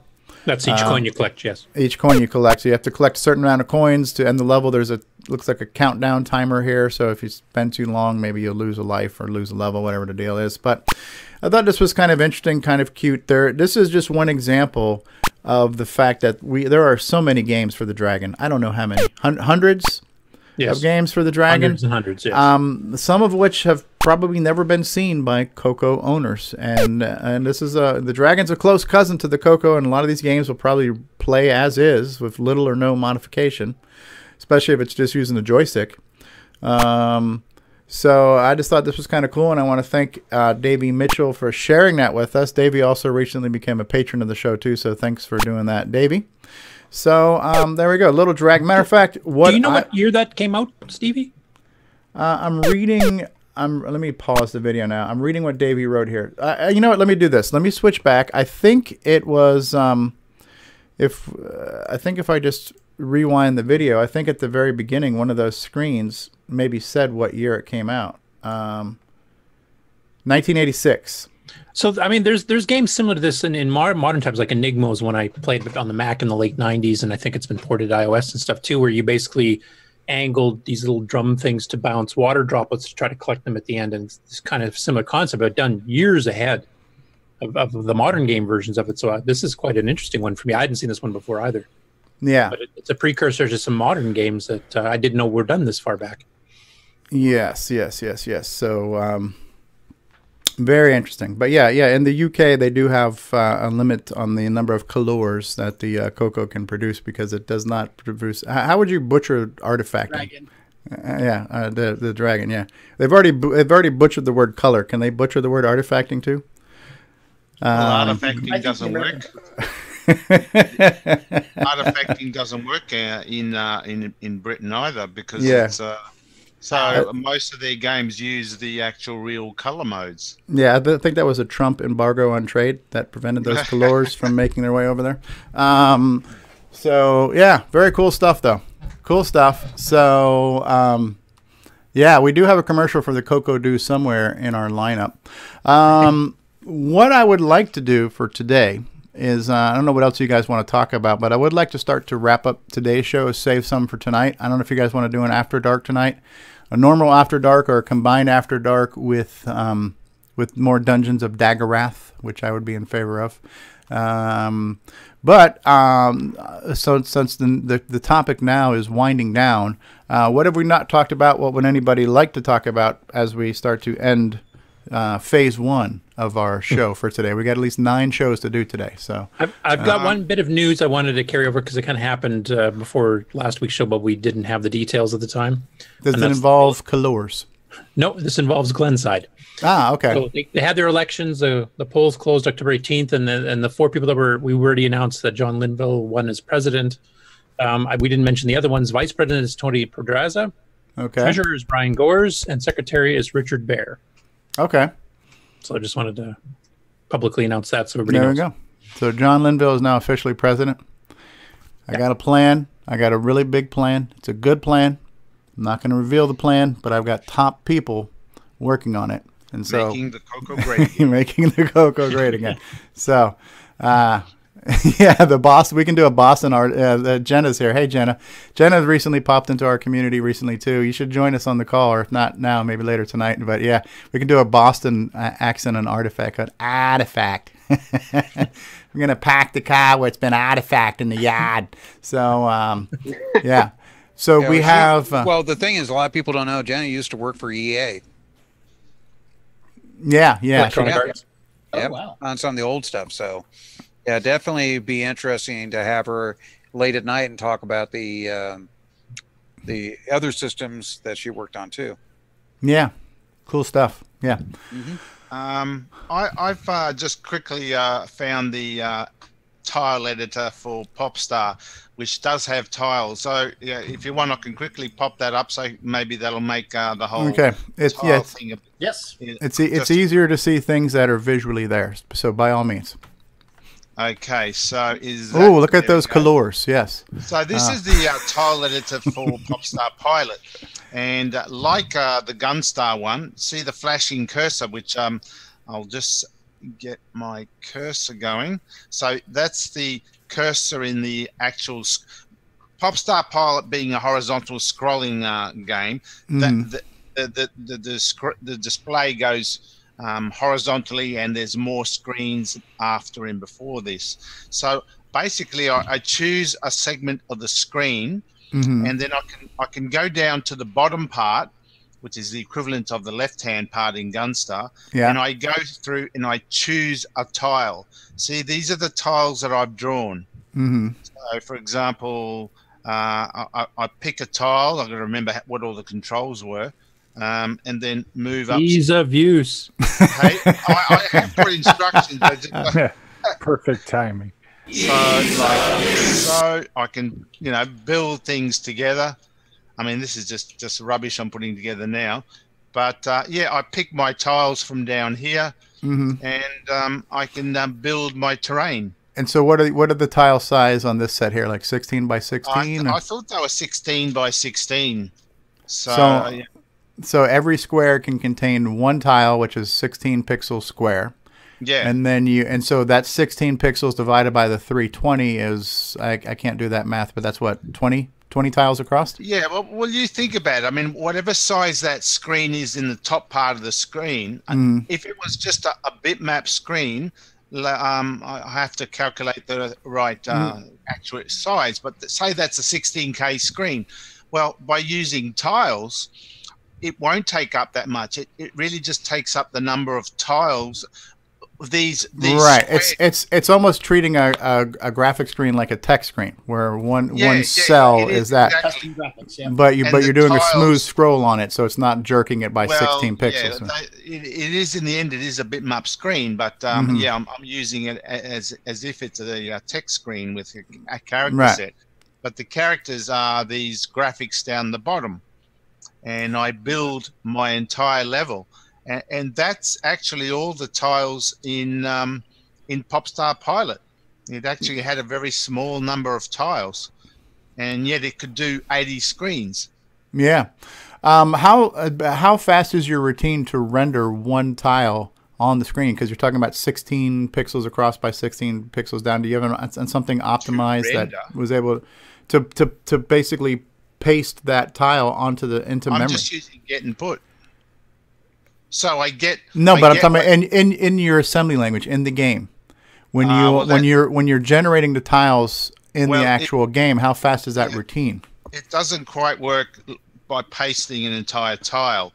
Uh, it um, once it makes a map of what all the um, the levels will be during the game. It reads that map, but it reads in Popstar Pilot's case because it's uh, uh, it, it reads all the tiles in vertical columns, and it reads say the extreme.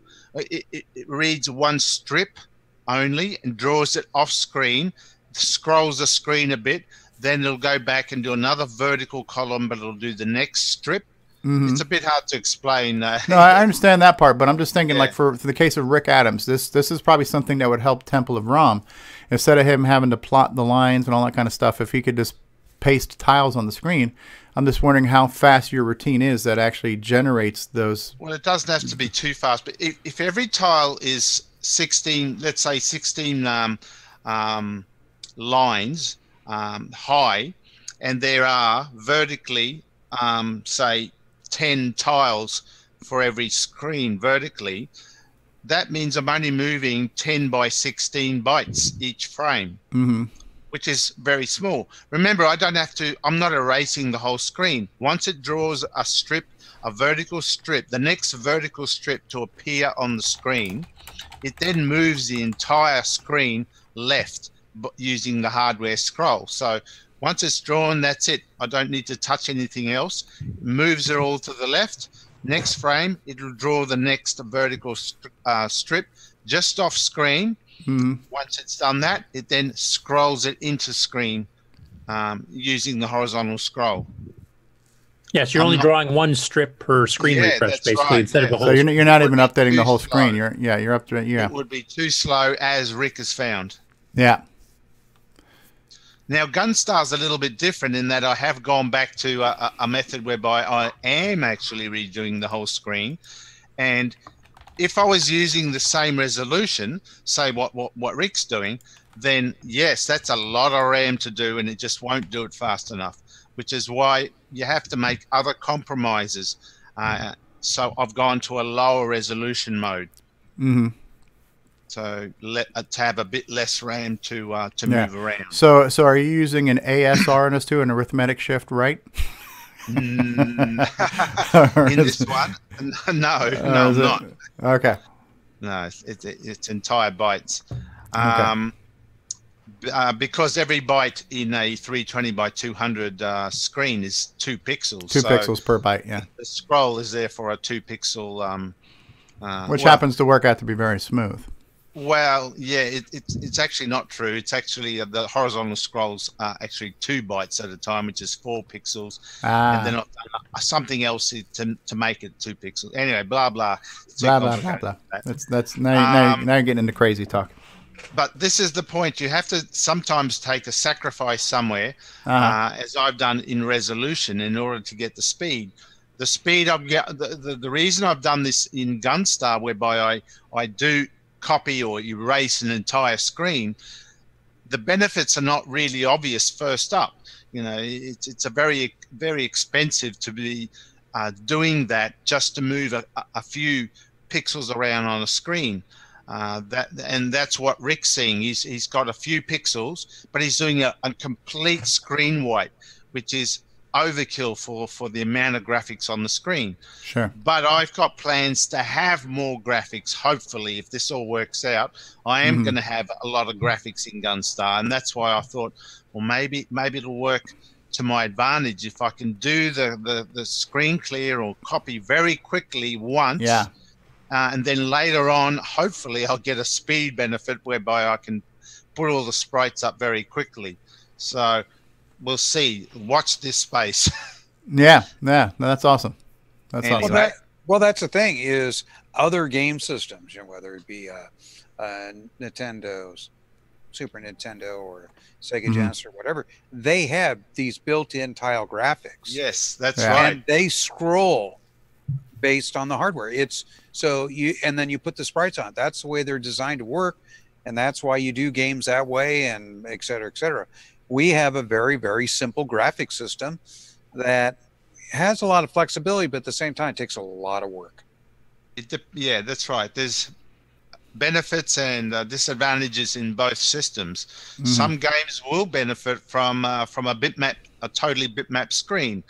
Other games, uh, the tile system is a, is a better system, especially when it comes to scrolling larger areas of RAM around. It's easier to to scroll around, you know, hardware tiles. Think of it as hardware tiles, I guess. Sure. Um, it's it's easier to to scroll those. It's less RAM for starters. We don't have that, so we have to do this more convoluted way of creating graphic tiles on a bitmap in a bitmap uh, format, and then you know pasting them up on the screen and whatever.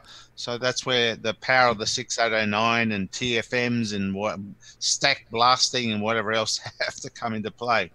But certainly looking at the game and maybe doing some sacrifices or compromises um, in Rick's game, he's doing an entire screen, clearing it all in order to put a couple of lines on the screen. Well, do you need the entire screen? Is the game actually moving the entire screen? If it's not, then maybe you only need to do a portion of the screen, the active area.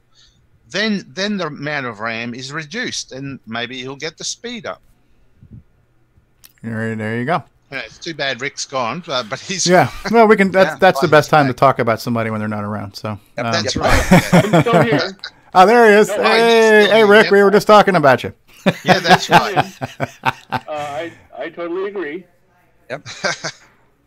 Well, that's Anyway. the, that's the beauty of Discord is we can discuss this uh, Ad nauseum. at length and yet, well, I was going to say more at length, more technical, and more at nausea, and not bore too many people because only. Well, let's see. You you kind of get an idea about how many people drop off on the chat if you really put them to sleep. Uh, well, we were we were up to like thirty, and we're still at twenty seven. So not too many have dropped off. So that's good. Yeah, just, just Jim Brain dropped off. So we don't. Yeah. um. Okay. All right. So so by show of hands, how many people want to do an after dark tonight around nine o'clock? Sure. Rendezvous. All right. So I'll most of us it. are back on. Okay. So I we're have- gonna do I another I one. might be Be a in the little late. refrigerator.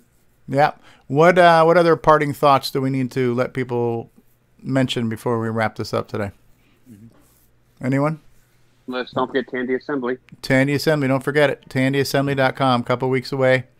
Uh, November 10th and 11th, Springfield, Ohio. And uh, be there or be square. Um, cool, cool, cool. All right, so we're gonna start. We're gonna start the closing credits for now.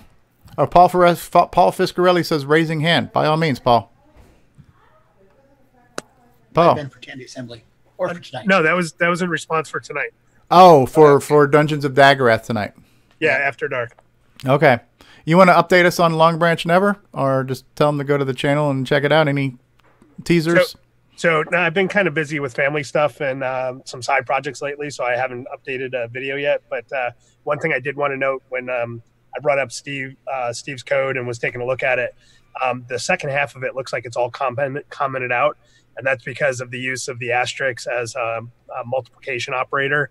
Um, I made a change to the UDL and I posted that back on GitHub uh, in a gist file. And uh, in the next episode, I'll go over how to uh, update your UDL in the uh, Notepad++. Plus Yeah, I have to admit I did have to modify your thing so that it looked correctly. Yeah, exactly. So it, it, it the UDL stuff in Notepad++ plus is nice, but it's a bit limited. I mean, to make the distinction between a multiplication operator versus a comment is, you know, it's, it's kind of difficult to do. So, but uh, it's it's there, and I'll go over that in the next uh, next episode that I post. Okay, so is the is the most recent episode Hello World Part Two then? It is. Yep.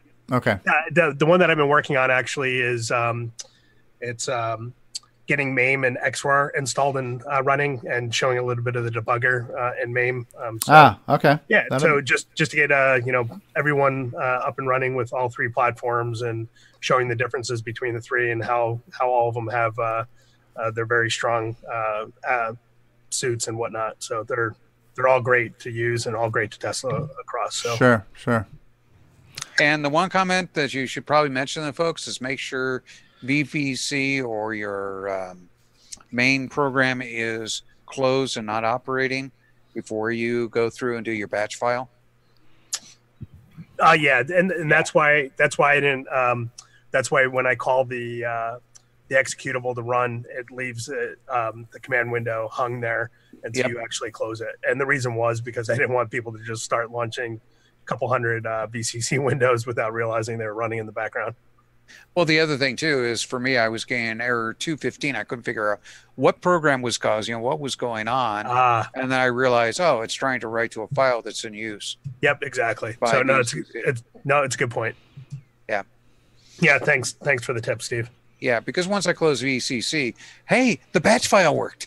Yep. Yeah, and, and Paul, I can't thank you enough for setting that up. Just the even if even if I stop watching your videos, the fact that I know, which I won't, by the way, but if I did, well, I appreciate uh, You know, my, my loyalty is very affordable, but um, um, the the fact that you have given us this simple to use way of having an editor and an assembler and, and an emulation environment with you know uh, fairly easy process now. It's something that I not, I don't think I would have arrived at that process anywhere near as easily or as efficiently as you did. So just pointing us in a direction and kind of guiding us through it has been, you know, immensely helpful. I No, you, you- you're doing one more thing that's really important.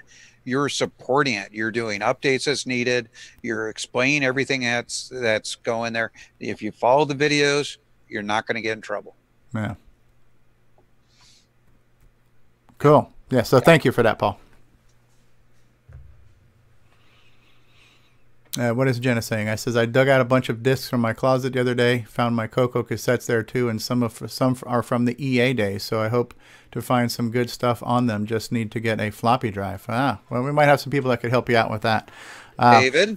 Earl- er- earlier, speaking of EA, somebody in the comments earlier said they really liked the uh, one-on-one, which was an EA game for the Coco. Right, so. Um, oh, Paul says just lost power to the house. Yeah. Yes, yes, yes. All right, so we're gonna wrap it up. Uh, final thoughts. Are we good? We're I think good. so. Yeah. All right, so we're gonna Okay. we're gonna start the closing credits. You have one more chance to think about something clever in just a minute here. So here we go. Cue outro. This concludes another episode of Coco Talk, the world's leading live talk show featuring the Tandy Color computer. For all things Coco Talk, visit us on the web at cocotalk.live. We'd love to hear from you. Send feedback, suggestions, even hair. segments via email to cocotalk at cocotalk.live. If you love the color computer like we do, then visit imacoconut.com for all your color computer links needs. Consider supporting the show with a purchase of merchandise from our retro swag shop at 8bit256.com. If you'd like to become a patron of the show, visit the Patreon link on our site at cocotalk.live. Coco Talk would not exist without the community and its cast and crew. Thanks go to Curtis Boyle, David Ladd, David Mark Ladd. Overholzer, Grant Leedy, Bruce Moore, Nick Marentes, Ron Delvaux, Rick Adams, Jason Reichert, Richard Lorbieski, Jim Brain, Karen Anscombe, Simon Jonason, Wayne Campbell, Steve Batson, Brian Joyce, John Strong, and Barry Nelson. Special thanks to Steve Bjork for production suggestions and Brian Joyce for our best of episodes and bonus content. Please help support the Coco community by visiting some of its contributors. The Coco Crew podcast at cococrew.org. Glenside Color Computer Club, host of Coco Fest at glensidecc.com. Jim Brain and Retro Innovations at go the number 4 retro.com.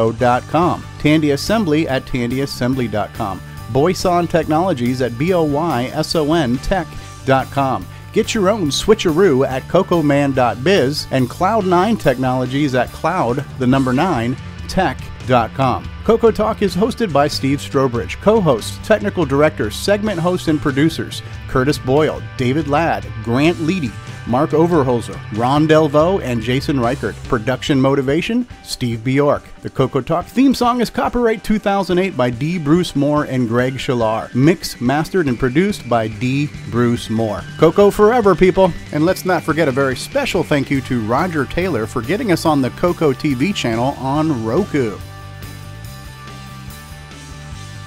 David Ladd. Oh, I'm much happier breaking stuff. Thank you. Yes, you're too kind. And thank you. MC10. OG Stevie Strow. All right. I just can't have, you know, can't press enough buttons. It seems like. All right. So, Nick Marotta. Did we did we acknowledge Nick Marotta was on was in the live chat today? I don't recall. Yes, did we did. We did. All right. So Give a group shout out to him. a group shout out to Nick Marotta. So we've had quite we've had quite the turnout in the live chat today. So Jenna is with us. Steve Bjork is here. Nick Marotta, Nick Marotta, Nick Marotta. Mark Overholzer here. Davey Mitchell, Jay Brevin has been here. Paul Fiscarelli has been here. John Laurie has been with us from the beginning. Tom C. from Jersey. Rob Inman. Uh, Paco Otakte and David Ladd. Wow, two of his personalities. William Carlin has been here. Um, just more people than we can even remember. Uh, Nick's neighbor Chad has been here. And Chad, by the way, Nick, Chad said you're a great ventriloquist because your lips never move when you talk. So, uh, so that's your neighbor Chad with the real Australian accent, not that fake Kiwi talk that you have there. So, um, So who else was in the live chat today? Chad Cunningham, Mark Overholzer, Nick Marotta. Nick Marotta, Nick Marotta, Steve Bjork was in the, uh, so many people here. Too many people to thank. I just want to say to all of you. Thank you. Yes, you're too kind, and thank you. And on the panel, still with us, our resident Apple guy. We we have symmetry in the universe. Uh, Mark D. Overholzer and his Apple II. Is that uh, Alien Downpour or is that uh, the uh, asteroids ones going on back there? Uh, it's a Onid zone. It's uh, oh, the o- yeah, the okay, the, the the Oid zone, right? Oid zone, yeah. Oid zone, like It's, uh, asteroids, yeah, It's an, it's an Apple II port of a, a PC game from I think the 90s. yeah, it's neat. Yeah, the Uh, guy who wrote it actually uh, was on the development team for the PC version. So That's cool. That's cool. I've been watching that on the Apple. I, I, I I'm a lurker on the Apple groups. I have nothing to say because I don't have an Apple, and I just kind of like to look and see what people are doing. But that's cool. you don't have an Um, Apple yet. Yeah, not yet. Yeah, but I love how that one too. You can switch between the vector version or the raster version of the asteroid, all that kind of stuff. Cool features. L. Curtis Boyle has been with us from O Canada, where weed is legal, man. It should get me in the programming zone easier. I think. yeah, man. I'm gonna come up with all these great ideas, man. I'm gonna be looking into the electrons of the circuits and just be one with the flow and all that stuff. Gee, so. yeah. When, when you see fried egg invaders, you know I've been smoking up. So Yes. you, Uh, need, you need to come on with smoke in your room. Cheech Chong. Uh, Ron uh, Ron Delvaux in the International Space Station and running Yes. manning mission control. Nineteen wraparound screens here. Um, you Space Force. You keep you keeping the aliens out too and running Space Force for us, Ron. Yes, uh, it's my division of Battlestar Galactica. yes. Yeah, we're going to do dungeons tonight, Mr. Robot Shop. I mentioned your video earlier today. Uh, very special thank you for sunny Southern California, Mr. Steve Bjork, and showing us how to make a ball bounce today. Um, Mr. Thank you, you're too kind, Rick Adams. Thank you for being here. It was too kind of you. Uh, C, eh? N, eh? wait, wait, wait. Where's Tim Hortons? Yes, yes. Uh, Greg, friggin' Greg's been here. Grant Leedy. Hey, you guys. Hey, Grant, I think Richard Lorbieski had a message he wanted me to give you. Oh, really? What was it? I'll tell you after dark. So, uh, And just to uh, remind you, I'll be on the road next week. I will be on location in Omaha, Nebraska with David Ladd. Dave, with? With who now? David Ladd. Yeah. Thanks for giving us warning. Yeah, yeah. Oh yeah. Speaking of David Ladd, thank you for being here, David Ladd. Thank you, David Ladd. You contributed a lot today, I must say. Um, no, I didn't. Oh, I'm much happier breaking stuff. All right, and uh, from down under, the man with the tile editor that contains no tiles whatsoever, Nick Marentes, has been here today. Uh, Next up, a game with no graphics. it's, it's a game about nothing. What do you do? You stare at the screen. Uh, In a what's world it, what, all the tiles are black and white. yes, in a world where tiles have no now, color. if you come up to Canada playing that game, you'll see all kinds of stuff. So. It'll be the most 3D immersive Coco game you've ever yeah. You smoke the Canadian green, all of a sudden you'll see the Australian color. So, uh, in both PAL and NTSC simultaneously. there you go. Uh, and last but certainly not least, as seen at PenFest 99 and 2000, at CorksCon, Hamvention, Coco Fest, maker of the Switcheroo, uh, Jason the Coco Man Reichert, thank you for being here today. Oh, pleasure. And if you uh, if you experience Coco Talk for more than four hours, please consult your physician. Exactly. Not going to happen today. Not today, but maybe tonight. All right, phase two of the outro. Here we go. Hi, this is Antonio Jimenez, author of such projects such as the Stevie Throw Devil and the SD Pack, and you are watching Coco Talk in three, two, go. I'm behind you making faces. Okay. do, you, do you have a script? You're rolling, Curtis. You say whatever the hell you want to say. Well, give me some kind of guideline. Um, hi, this is Curtis Boyle. Hey, this is Eric, and you're listening to Coco Talk. All right, we're rolling. You say whatever you want to say, David. Keep making faces. Nation, world, sweetie. Weekly, yeah, Tandy Computer. Something like that. Hi, I'm Tim. Playing Dagger like that idiot from the book. You're watching Coco Talk. Thank you, David Ladd. Now get back up there for one second. Oh, jeez. Come on. What? What? what, Let's, let's get some drive wire, TTL, No, ESP. no, we don't need any drive wire or TTL. Hi, it's Chris Boyle, part of the uh, Coco Talk crew of people. Hi, we're on Elbow Timberman. To uh, experience Coco Fest, you must come. But I brought the only working MC10. I could not get. I could not, could not get. Couldn't get- a autograph Ah. by certain someone you know. Well. The world's leading weekly Coco Talk show. Yeah, something like that. Hi, this is Rick Adams, and I'm the author of uh, Temple of ROM, Shanghai, and now Bomb Threat, and you're listening to Stephen Strow on Coco Talk. eight slot MPI, you know, floppy drive, Coco SDC, um, Sound Speech Pack, Orchestra 90, RS232 No. pack, Modem Pack, uh, Super IDE. You start adding DEFCON all 2, those together. DEFCON if you want 1, them all usable End of at the the same world. time. Well, guess Oh. what? You just went over the four slot MPI. Oh Lord, we have gone over the four slot MPI with David All right, we're gonna put the audience and the show out of its misery. I'm pressing the hang up button. No, you hang Wait, up. wait, no, wait. You hang up. What is it, David? We gotta have that 16 slaughter. Yes, we do. You can bring along 15 friends. All right. So you hang up. No, you hang up. This is the sound of me hanging up in three, two. Goodbye, That's everybody. enough. Just press the damn thing. Say goodbye, everybody. Bye, everyone. bye bye. And Nick Marotta. God bless you, Nick Marotta. Nick Marotta, glad you're